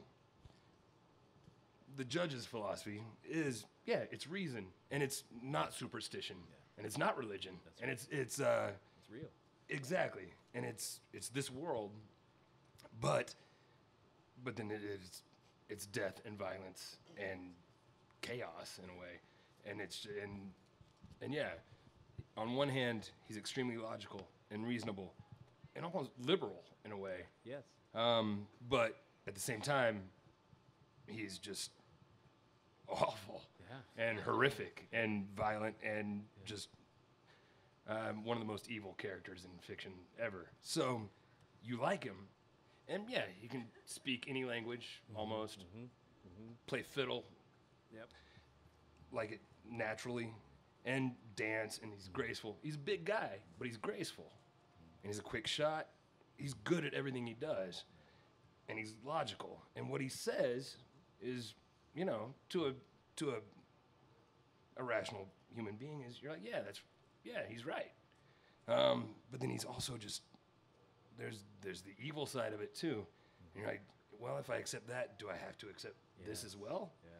And so yeah, it's scary as shit. It is. It is. And I have to say, the first time I listened to The Last Pale Light in the West, I thought it was brilliant that you left the judge's song with no lyrics. I mean, that that to me was really the only way to do it. I thought so too. And when you're running out of time, it's extremely convenient. yeah, that's actually yeah. But but it made so you can you can make it if you. I never thought I'd be in a situation like this where you actually have to make an excuse for writing an instrumental song. But if you are, you're like, yes, the judge is a mystery. You can't sum him up in lyrics. So it has to be like that. There you go. Yes, I did that on purpose. so yeah, yeah, it, it- it's it's fitting. We we milked that to death, yeah. it was good. It was good. No, uh, Well done. good. Well done. Another A answer. Um, I think so. I think so. Yeah. Thank you, Professor. Yeah. He's a historian. He's professional. So he's- I like it. Yeah. Um, so, uh, anything? I mean, I, I do. now that's all you got. Now is just what do you what do you got, huh? Yeah. Well, no. I mean, I, I do have stuff, but I, d- I just don't want to. You know, I don't want to No, no, no. dominate if either of Let's you go. wanna- Let's go. Okay. Let's go. Uh, so here's an easy one. Okay. Uh, and it's easy because I'm going to start with Matt too, so that's even better maybe. Uh, For me, it is. I just wanted to ask. So we, the judge you mentioned was a an actual historical figure. I don't think you said before, but but what about like so some of these are fictional characters in the novel? I was just wondering a little bit more about um, the uh, which other characters are actual historical figures, um, and then if if Ben wants a preview of what's coming. Uh, uh, then I was going to follow up to ask you a little bit about how you developed the particular characters you, characters you talk about. So, but uh, yeah, so there you go.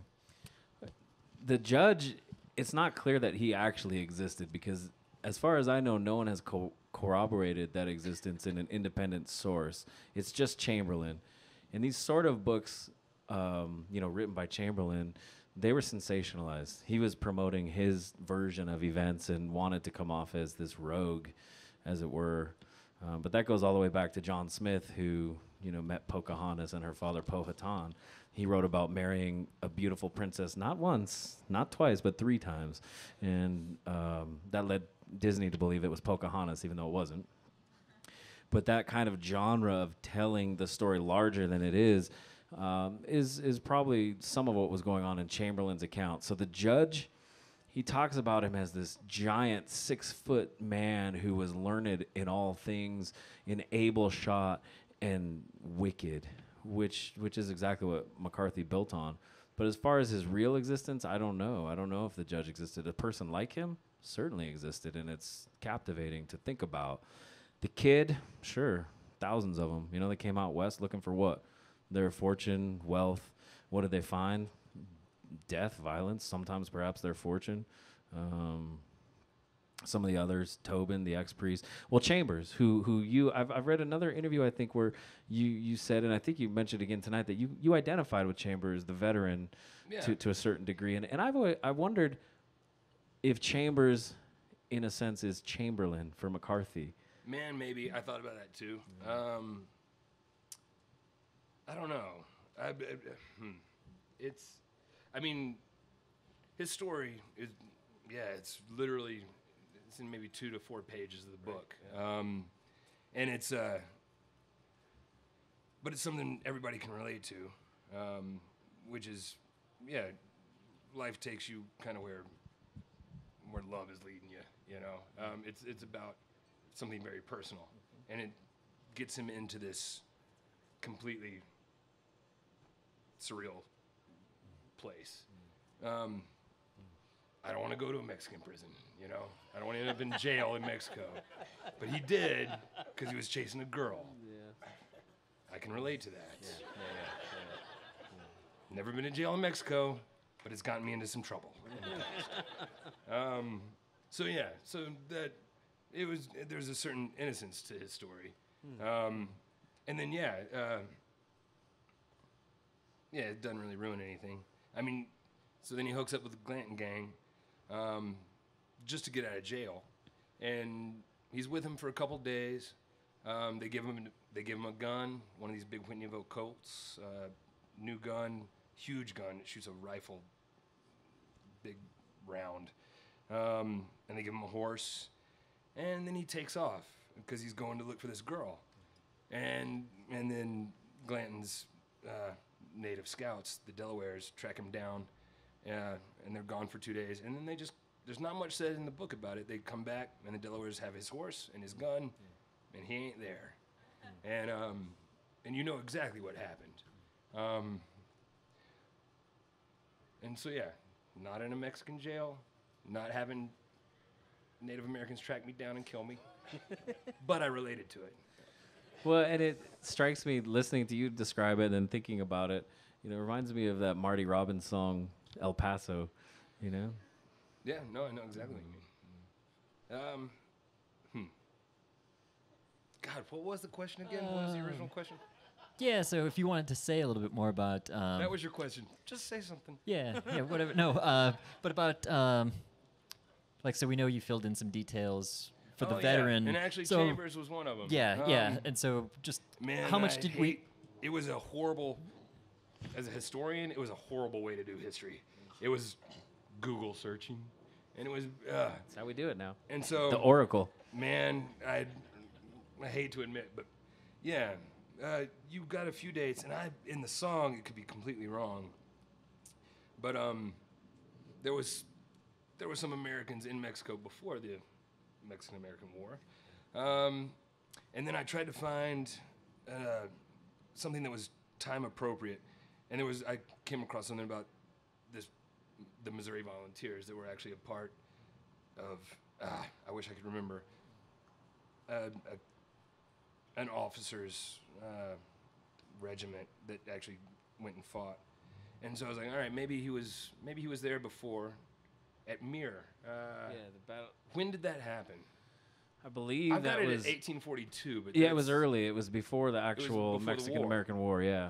Um, and then I had him going back to America, and then joining up with the Missouri Volunteers. And when the when the war actually started, coming down and invading Mexico and uh, and winning the war, basically. Um, and then they send him home, and yeah, going back and trying to figure out ah, what unit would he have been in, who would he have been serving under. Um, what were, how did the years work out? 1842 to 1840. When did the war start? Well, it's kind of messy because you know all the stuff in Texas happened in the 30s, late 30s, and then Right. Um, by 45, the United States was claiming Texas, but the boundary was disputed down at the Nueces River and the Rio Grande. You know, where does the American border start, or the Texas border? Where does the Mexican border end? Uh, and that's where the first blood was spilled in the Mexican American War. Um, so I, I think technically the start date is 46, somewhere in there. I got it right then. All right, all right, good. Um, and so, so yeah, so yeah. Google search works. Apparently, yeah. Um, so yeah, that was that's the one I did the most outside research for. There's Okay. more in his song that's not in the book Yeah. than any of the other songs. Yeah, it's a nice way of filling in those details because it's a good, like the start of the story that you that you know of him going Right. I back Think, for the, the girl and things, but you don't know. I think it exact- mentions yeah. that he was from Kentucky, Yep. possibly, um, and then you just kind of build off of that, Yeah. and you try to figure out why he would have been there, why he would have left and been coming back for her, Mm-hmm. um, and so yeah, you just try to make it logical and make the song work. Well, good job. It's fascinating to hear from a lyricist because you always wonder, at least I do, what the process is. And I'm sure it's different for all lyricists. Uh, and I, I don't want to ask too intimate of a question, but you know, in writing, preparing for this album, how long did it take? Was it a period of days, weeks, months? Um, you know, were you hold up on your own, or It was a, it was kind of accidental, um, and I actually that chamber song is the first one I started, and that was the first song I wrote for this on this record, and it wasn't even for this record. I just kind of wrote it, and then had the idea to actually go further with it and write songs about other characters. Um, it was his story that that really started the process and made me want to write a song. Um, because I've written plenty of songs about me, and it was an experiment and kind of it was it was a yeah it was an experiment to write something not about me. Um, so so that's how it started, and then and then yeah, uh, then that took months actually. Um, but then writing the other songs maybe took a month. You know, everything else kind of came real quick. Um, but it was it was it was the emotional attachment to that song that really was the spark of the whole thing. I think that's so interesting for for us because many people are aware of this album and your solo work because of its use in the television show The Walking Dead. Yeah, If they used the last pale light in the west. they- yeah. and and I'm sure that did wonderful things for you. I mean, imagine It was good. No, I got a little bit of attention. Um, but what was really cool, uh, I talked to this guy, Scott Gimple, I think, who's the showrunner for Walking Dead, which I didn't know what a showrunner was before I talked to him. But he wanted to use the song, and he was really nice. He was like, man, he's like, I've written a lot of episodes listening to this record, which was, that just huge, blew my mind. Um, and then you look at that scene in The Walking Dead, and it's he wrote it around that song, um, and he made it. He used it very well. Um, he actually asked me if I would try to write an original song for it, and I wrote a song called "This Old Death," which he's like, "Man, it's great. This is awesome. This is great. We're not going to use it. We're going to use the last Pale Light in the West." But he had written the scene around it, so he had to use it, and and it's a win-win for me. So um, so yeah, it's yeah. You go from Blood Meridian to the Last Pale Light in the West to The Walking Dead, which I mean shares some apocalyptic, you know, themes with the book for sure. So no, it's oh, it's really cool. Yeah. and then we all get to be here talking about it at a brewery, which is unlikely and Yeah. wonderful. Man, and the, it's starting to work. So I'm just gonna. I could babble. like you don't even have to ask me no more questions. I can just talk. I'm, I I'm, can pick up that piece of paper and just go if I wanted to. if, you, if you're ready, I'm pretty much Not out yet, of not questions. yet. Ask Okay. me question. Should Just should give me we the signal. ask ask questions? I mean, is Yeah. there Let's- anyone? yeah, Yeah, I what think y'all- what the fuck y'all got? Yeah. I think it's time for Here, that. this one so. this one's supposed to go around. I think this mic. Uh, didn't know. I thought. It, is it that? Is I think it's this one, right, Adam? Which one is it, Joe? I'll just, Is that one? are we are we on now? yet? So if you got questions, just maybe uh, you know if you wouldn't mind walking up. I know that's kind of can be a bit intimidating, but you should uh, have to stand in this blinding light. Yes, too, please actually. stand. In I think that's someone, fair. someone had a hand up. Ah, thank you, brave soul. Okay, I've had a question about this since the first time I heard the record and read the book. And um, you said a little bit about Toadvine um, when you sang that song, but maybe second only to the judge, he's such a, hard character and just such sort of an awful, violent person. Yeah. But your song is almost a ballad, and it's so sweet. And I just wondered, like, how you related to that character, and then where you sort of got that sweetness out of Toadvine. Yeah. Uh, all right. All right. Go on. Go on. Go on. Um. Yeah, actually, there's a whole lot in that song that's not necessarily about the book or Toadvine. Um, there's a whole lot in there that, yeah, is kind of about uh, me and how I view the road. And yeah, you wouldn't think that out here. Yeah, I get to go on tour and play shows every night, different town every night. And you wouldn't think that out here, you know, you could just run out of fucking country, but you can run out of fucking room. Um, and so I, there was a certain, yes, as brutal as he is, and his, I mean, the first scene, him meeting the kid, he's like, uh, they, they get in a fight, and they wake up, and he's like, you had enough? And the kid's like, where's my boots? And then they go burn down a hotel. it's kind of awesome. Um,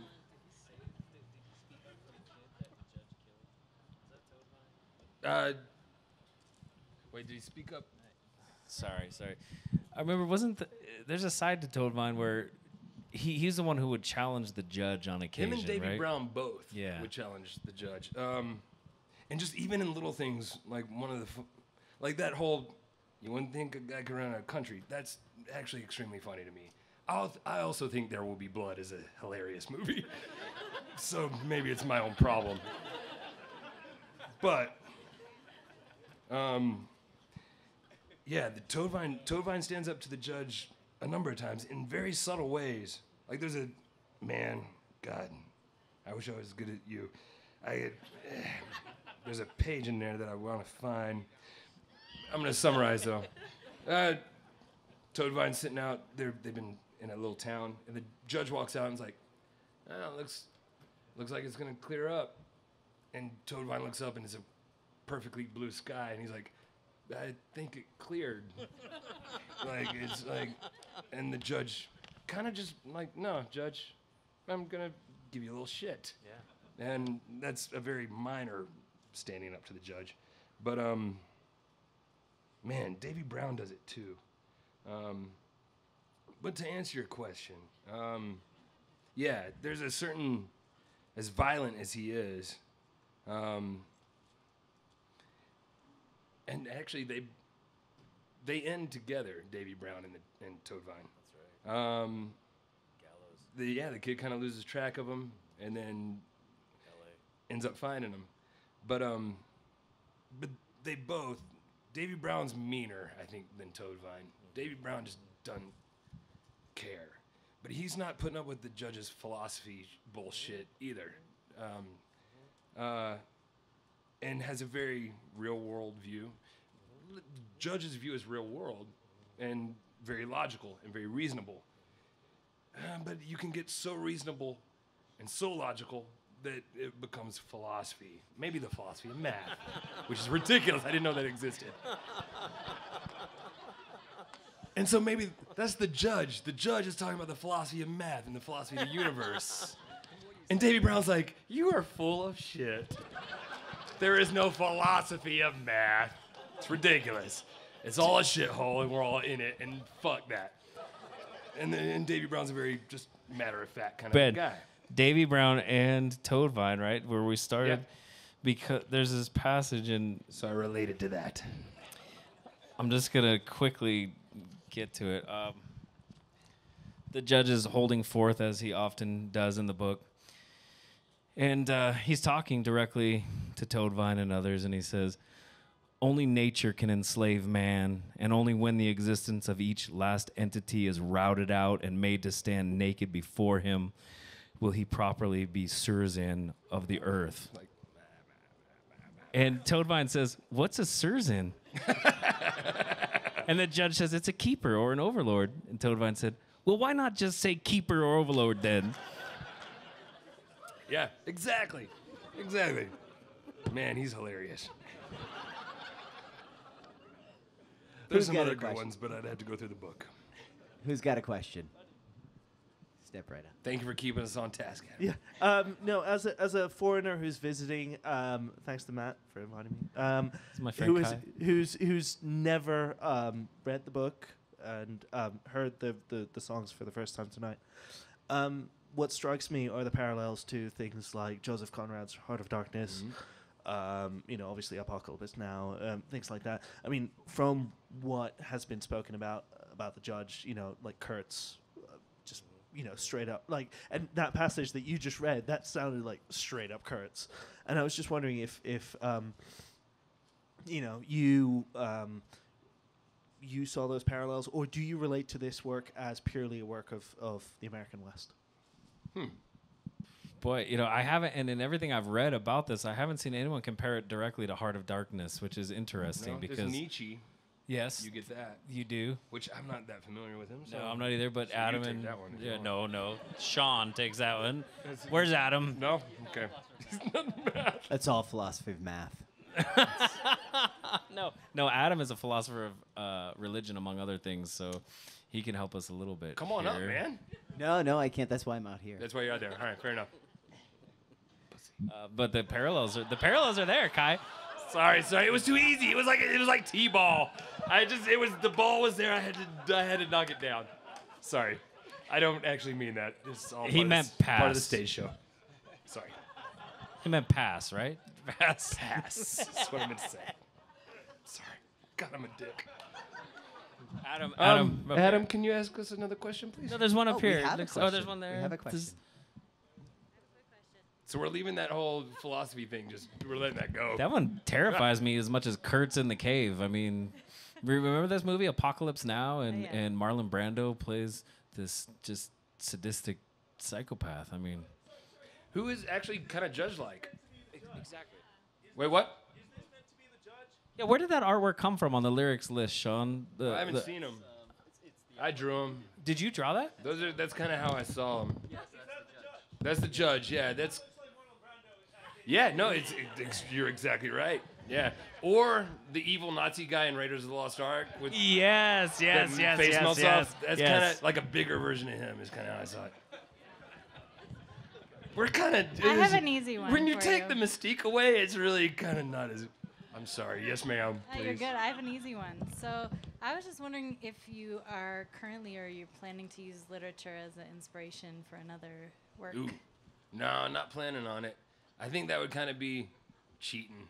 Like, if I do another solo record, I've got to do the fucking work myself and actually write it and not steal it from someone else. Uh, I think you can do that once and get away with it, but twice would be kind of a bullshit move. So, so no. Thank you, though. Adam, I think there's a question up here. So, as a woman, I find it interesting that your entree into your solo album was a man's fascination with a woman. Ah. And um, so, I've not read the book, I will admit that. Uh, but where do women play a role in this book, whether as re- real characters You or do as, not want to know the answer. as imagery or symbolism? Uh, actually, that Chambers thing and the spark to this whole record is probably the nicest version of that. Um, it's actually, as a historian, um, yeah, it was, like you said, it was male dominated violence. And, and yes, there was a lot of violence against women and children as well. Um, so yeah, no, it wasn't pretty, uh, which is one of the horrific parts of the book. Um, and maybe that's why Chambers' story stood out so much, is because it, there was a certain, you know, it was, there was a, I mean, she's just referred to in the book. She's not even in the book. Uh, she's just his reason for being there. But it was such an innocent thing that it, there's not a whole lot of that in there. Um, yeah, uh, unfortunately, uh, women are either victims of violence or. It's, it's not It's- good. That's a, it's a really good question, and it actually gets to uh, a line of inquiry in in historical research on the American West in in the last two decades. And Patty Limerick, who works out of Boulder, Patricia Limerick, she wrote a book called The Legacy of Conquest. And in that book, she calls for a more careful study of women and their roles in the American West and asks that we not constantly cast them as passive victims and rather look at them as agents of their own fortune. And it's caused us and, and uh, you know, many scholars in, in the field to go back and look at some of our you know concepts related to prostitution and instead of looking at it as a passive objectification um, serving men look at it as a business opportunity for savvy women who were able to market as it were what they could. Um, i'm not sure if, if i completely you know buy that all the time but this is one of the points that, that critics have made about McCarthy's work that it's absent a female presence, um, and and part of that I think is is a function of violence in the West, which which did tend to be quite male centric. Yeah, I'm not touching that with a 10 foot pole. but you did real good. You handled it well. You did good. Hats off to you, sir. Uh, that was a that was a tough question, which no, it's not easy to talk about, and um, and and and the role of natives. It's no, it's not. Mm, it doesn't leave a good feeling in your gut. You know, it's not easy to talk about. That's a good point. You got the Delawares. It's complicated, right? Well, and Glenn hates all Native Americans, but he's employing the Delawares. And he loves them. I mean, he relies on them. Those are his behind the to save his life numerous times, um, and so there's, yeah, it's it's a it's tricky. It's not black and white. Even with Glenn, who is who is kind of black and white. He's I hate Native Americans. I want to kill them and scalp them, and I if I can get paid for it, even better. Not a yeah, just mm, rough guy, but but he's got these two guys that he entrusts really the lives of his, of his entire group with. Um, and yeah, how does the math work on that? How does the math work out on that? I don't know. We don't know. Hey, I've uh, I've always wondered um, if you ever saw a personal relation between yourself and the kid as like somebody who ventured out of Tennessee and maybe a juxtaposition of uh, like the turbulent nature of the road versus the violence of his Yeah, travel. And of like, course. Yeah. Yeah, for sure. Um, and I think I think it was written. The book was written in a way uh, to where, uh, you know, most readers are supposed to relate with the kid. Um, like, he's violent because he's grown up that way and he had to be. Um, but but you know, you don't necessarily think. Uh, it wasn't necessarily part of him I don't know, innately. Um, but raised the way he was and on his own the way he was, and then put into this environment that he was, he adapts to it.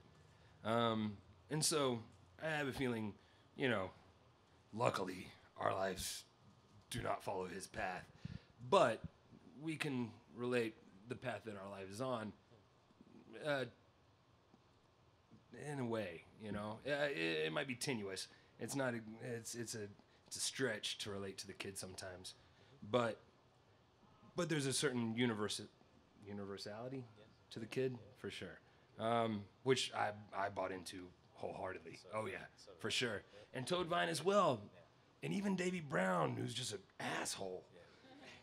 But but when he when he goes up against the judge from time to time, uh, there's a scene where the judge has a little Mexican kid on, on, on his lap. And I'm not sure if it's Toadvine or Davy Brown that walks by. I think it's Toadvine. And he walks by, and then when he walks back by, a few minutes later, the kid's dead. And he actually pulls a gun on the judge, which is uh, for for a guy that just set a hotel on fire and kills random people and goes out scalping. But but but that was bullshit to him. And and so there's something you're like you like to think that you're the kind of guy that would even as horrible as you are and the mistakes that you've made and the things that you've done with your life, you like to think that when it comes down to brass tacks and there's actual pure evil, you might actually stand up to it. And so that's part of Toadvine that I related to. And that's, I don't know. So yeah, there's the kid. Unfortunately, I relate to a lot of the folks in there. Mm, yeah. Did I make a point there? I'm not sure. If, am I done talking? Okay, good. All right. Oh, and all of them. I mean, And you like the judge too for certain reasons, and then that scares you because you like the judge. Oh man, I was gonna ask. Angel, thank you. I don't know. We got anything else? I could do this all fucking night long. I'm dead. The beer is starting to work. And if he keeps ringing these, I'm good to go.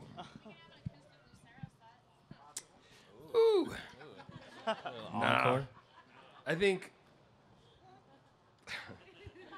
Thank you, but no. No, no, no, no. In November, yeah, we're coming right back. We'll be it's like right around the corner. What you got, man? um, do you think um, that the West is where people went to escape from their morals, um, to escape from these things? Perhaps society, if not, you know, other things had led them to believe, and if so, how do we escape those today? You being an artist, do you feel like you escape those sort of things Yeah, you start a through your art? Yeah, if you don't want morals, just start a rock and roll band. um, no, I think you. Yeah, no, you got it. I think you've got a very good point. And yes, uh, yeah, no, I do believe people are running away from stuff. Um, and yeah, you end up at that time. Yeah, you just you go west. If if you've done something bad back home, like I'm going to Texas, and Oh man, we're not going to talk about Texas right now. But yeah, um, and it's a it's a double sided coin. I mean, yes, you're escaping morals in a way, but you're also possibly wanting to start fresh and do something different with your life. This is going off topic now. Oh God, I need a therapist. While while you're doing your I'm gonna hand therapy- this off to you. Well, can I, Oh. can I can I make a plug for a future DeFi event? Actually, we have a uh, philosopher of film from University of Chicago named Robert Pippin, who's coming to do an event at History Colorado. Um, we're going to screen an old uh, noir, uh, film noir called Out of the Past. And uh, Pippin has written about film noir, but he's also written about westerns. And one of the things that he says about westerns as a genre, a Hollywood genre, is that they all they, they the West seems to represent this kind of anarchic world of chaos and lawlessness. And most of the classic westerns from the late 30s, early 40s tend to be kind of founding narratives uh, where the rule of law is kind of established and order is kind of brought to bear. Oh, uh, Matt, you have something climbing on your face. Sorry, man. Um, this is a very. This is like. Oh wow, look at that. We didn't even know we had. Welcome, welcome to the West. Yes, exactly. That's a character from Blood Meridian right there. Um, wow, look at that. I would have killed that thing immediately. I was like, ah! I would have screamed like a baby girl and just killed it. It was on my face. It's harmless. Oh man. Anyways, I was just trying to buy you time, Ben. I'm sorry, and, and Oh, shamelessly plugging a future event. So Yeah, good. it's on When the back is- of that when postcard. is the next event? Yeah, that's actually that's taking place on October 22nd. It's Okay. free, by the way, and totally open to the public at History Colorado. Uh, five yeah. five thirty, I think it starts. Um, the next event we have a performance of Shakespeare taking place uh, on Auraria campus on October 1st. It's actually Romeo and Juliet, followed by a discussion with the cast. And then the the uh, event Tribes and the Tyranny of Language. Oh, uh, tri- yeah, thanks, man. Tribes and the Tyranny of Language. Uh, there's a great uh, show that's uh, being performed at the Denver Center for Performing Arts. It's about a, a young boy growing, a, a deaf boy growing up in a family of academics and scholars who uh, uh, decide that they don't want him to uh, be raised as a member of, uh, of kind of deaf society. So they don't teach him ASL or they don't allow him to learn how to sign. But anyways, the, the, the story charts this boy's kind of coming of age. And before, so the, the, the, there's an event on October 15th at the Denver Center for Performing Arts centered around a production of that play. Before the play, we're going to have a lecture by, or really a conversation with, the uh, first and perhaps only person, uh, a- deaf AF, ASL signer with a PhD in philosophy is coming to give to, to, to moderate a conversation beforehand, and then we're going to watch the play, and then after the play, we're going to sit down with a cast and have a conversation with them and ask them what it's like to inhabit those roles. So, anyways, again, it's another kind of odd event that probably isn't something that is Man, you know repeatable. you. Yeah, y'all So- are doing some really fucking cool shit. Thanks, Ben. I appreciate that. That was a horrible way. You can't really quote that online, can you? no, I'm going to put that right on the Facebook Ben page. Nichols says we're doing some fucking cool shit. yes. That'll go a long way. Yeah, yeah. Sorry, I can't. Um, oh, I'm awful. Now, but the you rem- you mentioned film. Oh yeah, film. This yeah, the is- West. The West. Yeah, it's a place the of West. chaos. Now, the chaos. Yeah, yeah. I'm gonna go with this. I've heard all sorts of rumors about maybe James Franco has the rights to the to Blood Meridian for making a movie. Ah. Yep. Maybe he does. Maybe he doesn't. I don't know. But We already have a soundtrack. no, no, they ain't gonna use that. no, I wouldn't even want them to. It's not. Yeah. It's too literal. Now, um, I've been on a big Nick Cave kick lately. Um, and he wrote the screenplay for this movie called The Proposition, which is an Australian Western. Um, and it's absolutely brilliant. Uh, Guy Pearce stars in it. And, um, and people, uh, uh, they talk about how could you make a Western as violent as Blood Meridian. And if you want to see as close as they've come so far, The Proposition is the movie you need to watch. It's uh, it's brutal and uh, and violent and beautiful at the same time. Uh, the Australian landscape plays a huge part of it. Um, and I just watched it the other night just because I was actually reading Blood Meridian and listening to Nick Cave, and I was like, I'm gonna watch The Proposition. So if you haven't seen it, look it up. Nick Cave wrote the fucking thing, and he's, man, he's just kind of a badass. The movie is as close as you can get to, as close as you can get to Blood Meridian, uh, on numerous levels. Um, but it's an Australian western, so I don't know. I just uh, just want to throw that out there. Okay. That's awesome. I'm sorry. That's not even no. No, that's now great. I'm That's answering great. questions that nobody even asked me. Oh, we do have a question here. Uh, thanks, guys, for throwing the show. This has been awesome. Um, Thank you. Kind of a, a sort of a two for one, one for Matthew. Um, you touched on a little bit earlier. Um, I'm interested in your reaction reading the book, given your background uh, about the way uh, the Native Americans were portrayed, kind of the savage mass of other. There, there are no characters with names uh, from their point of view, um, which is an artist's prerogative. And then related to that, Ben, could you talk about maybe um, as an artist, um, do you worry about how things might be received when you write them? Um, if it's open to misinterpretation, um, anything that might sort of uh, give you pause as far as Right. uh, how people interpret your stuff. Gotcha. You want to go first? I can. It's a good question. It's a really important question. And Ben and I were talking about the Delawares who go unnamed, but they're scouts. And they are, in fact, um, I'm assuming part of the Lenape tribe, which is originally from Delaware. And they're co- nicknamed the Wandering Tribe because they're consistently driven from their homes in the east out west. I had no idea about that. That's awesome. Well, Braden and I were talking about that because Braden mentioned a canyon in Texas, right, or Delaware, Delaware Basin. So Braden was was confused about that, and I had just assumed during the book that it was the Lenape, the Delaware from the East Coast. Uh, but it is a faceless, nameless mass, as as you indicated, and and um, of course that's problematic uh, for someone who who spends time in Indian country today and works with Native communities. Um, and it raises the larger question about the violence, because there is this desire, or not, perhaps not desire, but this tendency to suggest that the violence is somehow just teleological in that it comes from the land, from the native people. And I, I think I mentioned Ned Blackhawk's work, Violence Over the Land, because he does a good job of explaining, yeah, it was violent and, and horrible. But it wasn't just that these were bloodthirsty people, it was a circumstance of the environment, of the times. Uh, obviously, from the native perspective, that book would be entirely different, Blood Meridian. And, and the histories we write as Euro Americans. I mean, myself, I'm a Westerner. I'm a descendant of you know Euro Americans who came out to the West. My grand, great great grandparents lived in Southern California, and so my perspective is is a unique one, and it's not the native one. And I don't, I could never pretend to speak for native people because they have their own voices and they tell their own stories.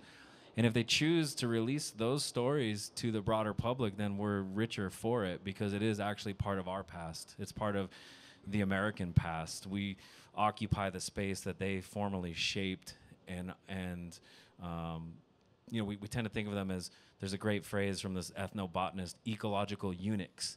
You know, a light footprint. They were all environmentalists, and it's just not true. They were caretaking and shaping the environment and damming rivers and deliberately burning forests um, for hundreds and hundreds and thousands of years before Euro Americans got here. So it's important to find that those voices and listen to them when we can. Thank you. And uh, and the judge was with them before. There was war as well. That's right. There was war between tribes. The judge was already there before this book took place. So, uh, uh, they're, they're humans. It's it's just humans. Um, but there are. All right, those I tried to circle them like the Yumas at the end of the book. That's their introduction, and they do have names. Not that it matters necessarily, Mhm. but Oh, oh, it's uh, it's in passing. I'm there are a few names, you're right. I'm not saying this is like a thing, but Caballo and Payo. Oh, but it's it's more the description of them and the clothing that they're wearing. Mhm. It's the guy with the green Mhm. goggles. Yes. Yeah, And that's everyone right, makes Ben. fun of them. Good basically. point, yeah. Everybody's like, these clowns, except the judge. And the judge, uh, yeah, the judge is like, I don't know. Oh, fuck. I don't know. What does it say? Only the judge seemed to weigh them up at all. And he was sober in the doing, uh, judging as perhaps he did that things are seldom what they seem. Uh, and it's just the judge is the only one that took him seriously. And then they come back and kill every fucking one of them except the judge and the kid and a couple others. Um, man, so no, no, with women and natives, no, it's not. Mm, it's rough. Um, hmm.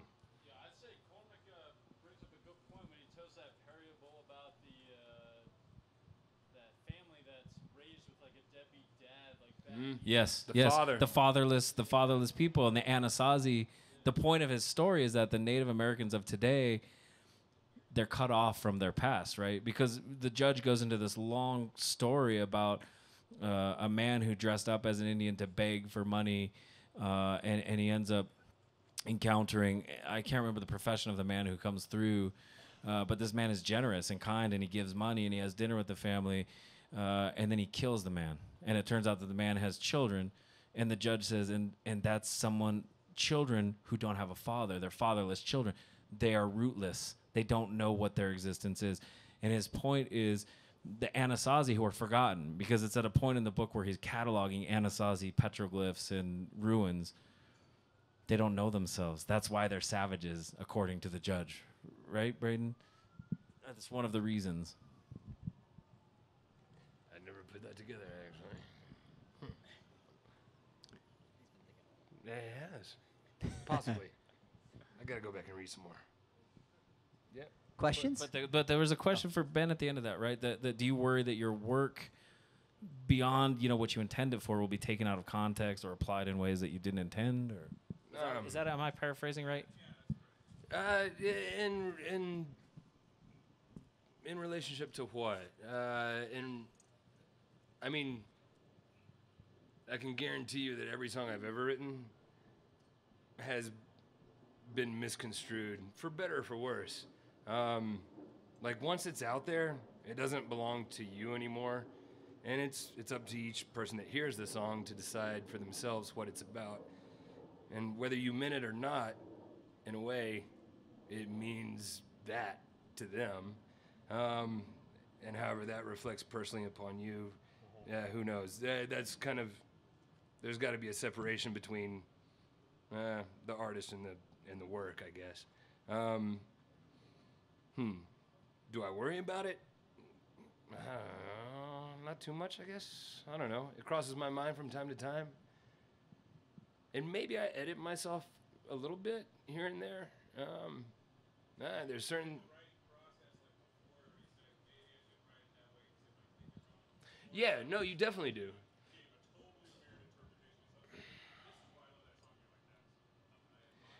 Yeah, and it goes both ways. Um, yeah, sometimes it can be as stupid as I wrote a song about a girl named Anna Lee. Yeah. Yeah, my drummer's like, Anna Lee. And you're like, okay, now her name's gonna be Angeli. Yeah. So, yes, you do have to take it into consideration sometimes. It can get deeper than that and more important than that, but really, Roy's Roy's observation kind of throws it into a certain light. And yeah, you do have to watch yourself sometimes. Okay. I'm interested to know whether you think about what we're talking about as history as also things that are happening now Of course. in the world. Oh yeah. I mean, the judge you know, lives my- forever. Yeah. The judge never dies. The Oh, savagery and all these things that we're talking about as part of the American past are still going on in the world right now. And Yeah. how does that relate to how you tell the story or Oh yeah, I think that's why. I think that's why he wrote the fucking book.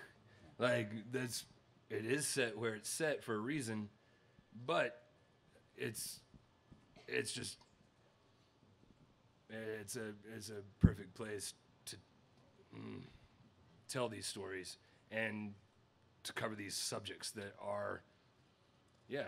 I'm what's in the beginning of the book. There's a those three passages, uh, and one refers to scalping. Scalping in the ancient world. Yeah. Yeah. Um, and one might is one heart of darkness actually.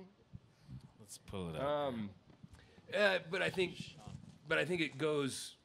Obviously, the book was meant to uh, to discuss all of that, and and yeah. Um, So no, you got it. no Heart of Darkness. We've got uh, Paul Valery, Jacob Boehme, maybe, and then the the Yuma Daily Sun from 1982. You- Yuma that Daily one- Sun Yeah. 1982. Okay, the Yuma Daily Sun, June 13th, 1982. Uh, Clark, who led last year's expedition to the Afar region of northern Ethiopia, and UC Berkeley colleague Tim D. White also said that a re examination of a 300,000 year old fossil skull found in the same region earlier showed evidence of having been scalped. So 300,000 Right. years earlier. So, so yeah, it's and yes, uh, the book was written nine, in 1985, um, and yeah, it still obviously pertains today. Um, mm, I don't know. There are plenty. Well, my brother's in Iraq. That's why I asked the question. Yeah. And I hear stories from him, and I hear your stories, and it's the same thing. I mean, And this Yeah, and you think- that what's happening. oh, totally. No, you're like, ago huh, which characters, now. which It's characters would part of the ISIS be in this book?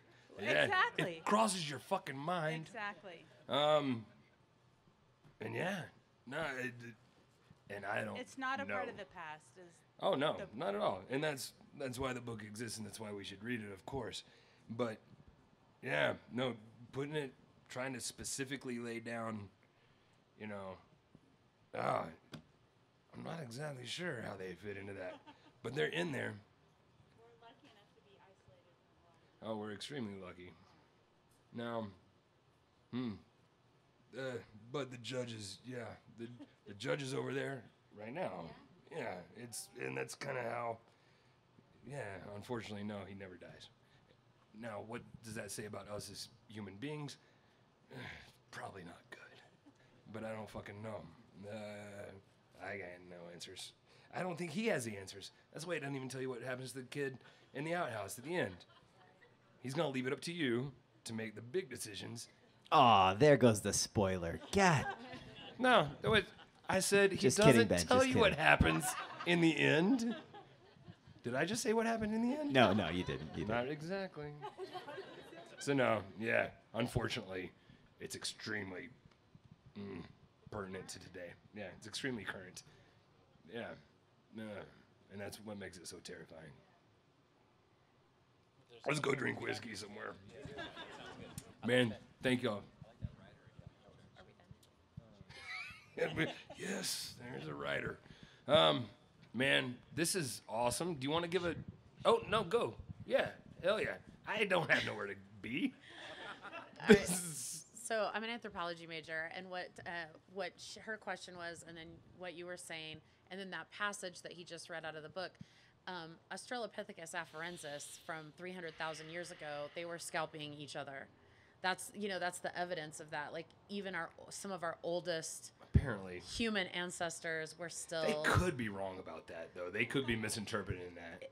It's possible. it's not necessarily possible. Be, it's not really that possible because the marks from scalping Are are, distinct, are, huh? are very distinct. All As are like you can see like marks on bones and teeth from Mm-hmm. um, from even from other ancestors that were possibly um, cannibals. Right. And the, the the markings are very distinct. Like when you're defleshing, Well, then- you know. So maybe it's not scalping. Maybe it's just eating.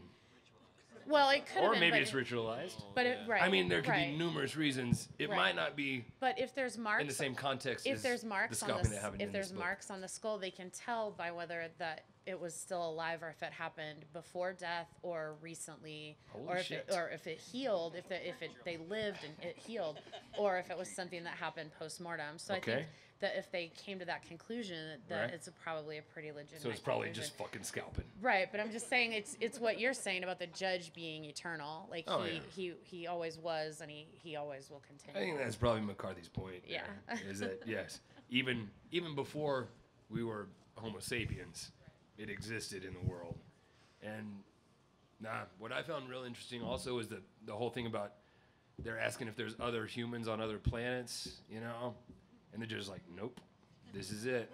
This is the only beings in the universe, and I mean, yeah, you go with the Star Trek philosophy, and you're like, oh, yeah, there's bazillions.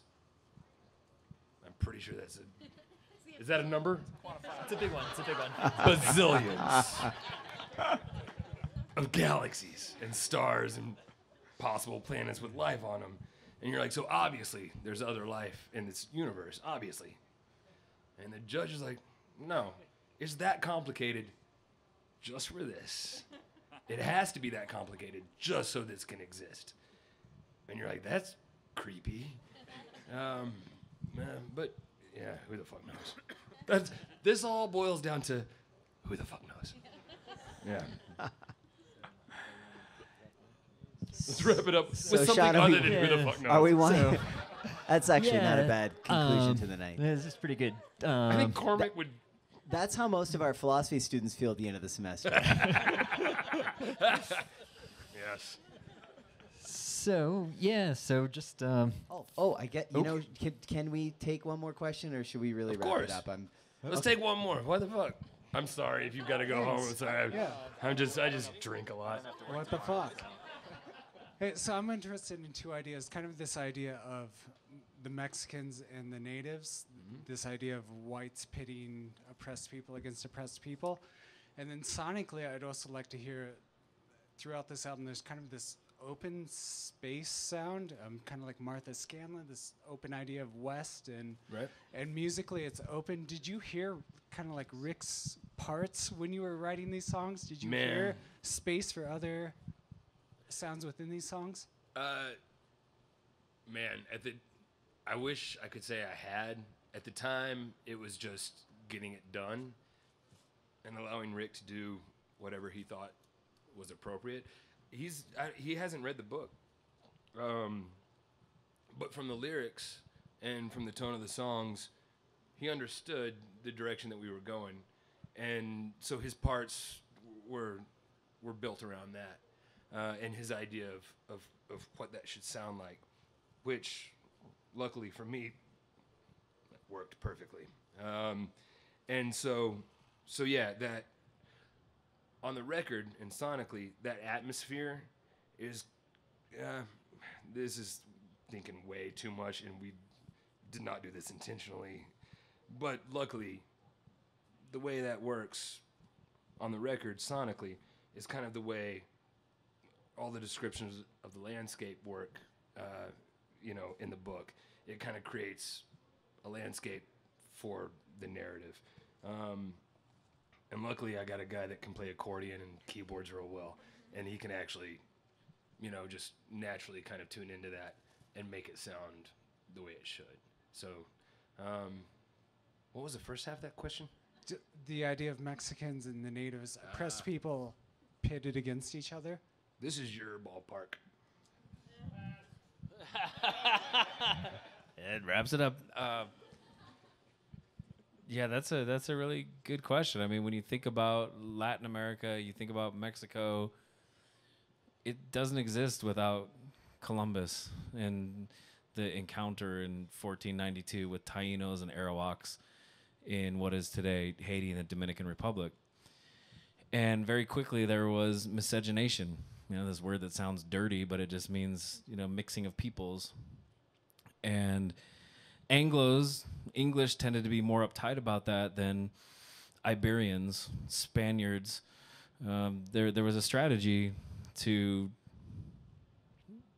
marrying into the local population, and that came with some respect. It wasn't all just dominance and you know, uh, essentially European uh, perspectives being forced on Native people. But when we talk about Mexicans and natives, one of the questions today is, well, what's the distinction? Because when we talk about mestizo people, they really, particularly in Mexico, are we talking about Aztecs and Spaniards? Where where does the blood mix? Where can we define? I have a friend, a Washoe man. He's part Washoe, part Paiute, and he knows the blood quantum because the government requires that you know your quantum. And he said, "I'm a quarter Paiute and three fourths Washoe. Well, which part is it that's Paiute? This arm right here." And it's tied up with this idea of identity. And so, two oppressed peoples, Mexicans, Indians, uh, and the question of you know this dominant Anglo society coming in and imposing their will on them.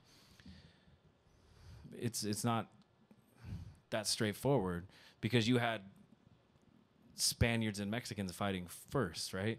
The the Iberians, the the people who called themselves peninsulares, those who had blood tied directly or were born on the peninsula of, of Spain, against those who were born of Spanish blood in the Americas, they were somehow less. Even though they had two Spanish parents, just because the happenstance of birth, which happened to be in Mexico, they were less than the Iberians.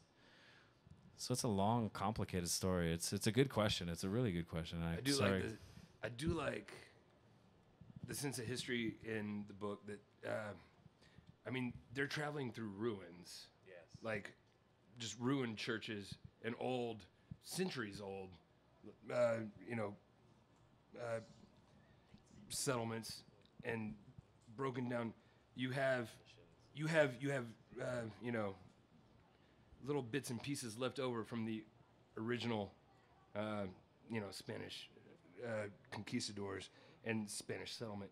Uh, but that, it, it happened and it died. That's right. And now that even is, you know, in, in it's just ruins. Ruins, exactly.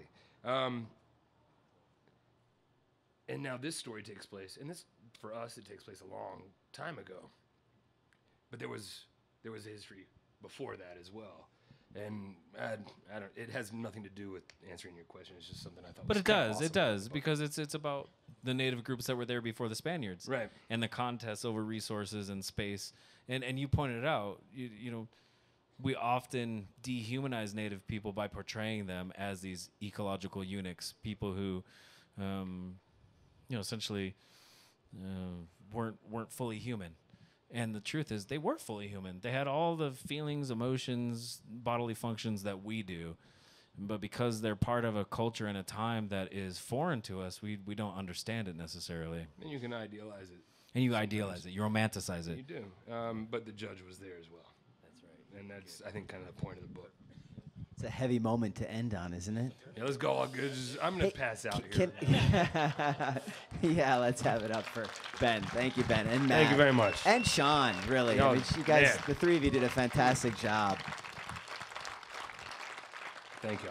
You know, um, if I could just make a what I would call a dual pitch, I feel like I've been pitching DPHI the whole night, but uh, this one actually I think is for both of us.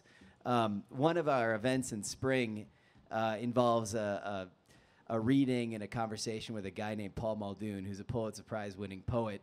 And uh, he's been described by the Literary Times supplement as the most important living poet uh, born since the Second World War. So he's a big deal. He's the editor of the uh, poetry page for the New Yorker. Um, anyways, he's coming in the spring.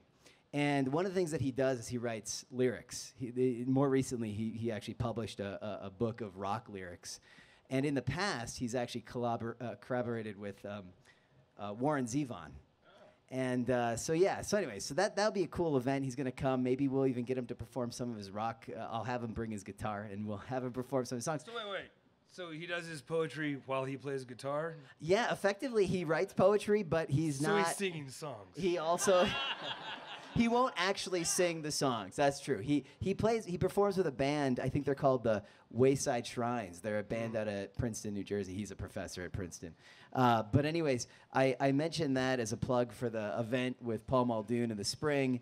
That's I think it's April 21st or 22nd. Anyways, it's on the back of that card. that I've been talking about all night. But it also it, the, the connection, and this is kind of a uh, Kevin Bacon type connection, is that Lucero has a single out and an album coming out in a couple what days or weeks. Uh, September 18th, so and not too long. the the single is went looking for Warren Zevon's Los Angeles. There you go. Yeah, Yeah. I made that Yeah. connection. Okay, it would my be job awesome if I played that right now, but it's not gonna happen. Oh, damn! How'd you know that's where I was going? Because they asked me earlier, and I was like, "Yeah, I'll do that." But now, after this conversation and this another beer, no, it's not happening. Thanks, Zach. Come Thanks back, a lot. come back to the Ogden, and oh, we're playing. Intoxicant.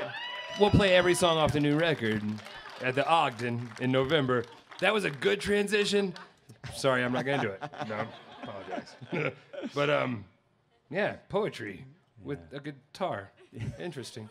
We, some people call that song. Some people, you, You know, know, some people some call it people song. just do the poetry side. That's writing lyrics and being too lazy to write this, the music to it.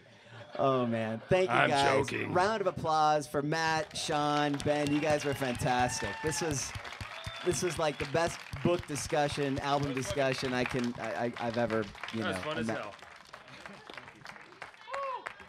Thank you guys for coming. This has been fantastic. Thank you, everybody. Really appreciate it.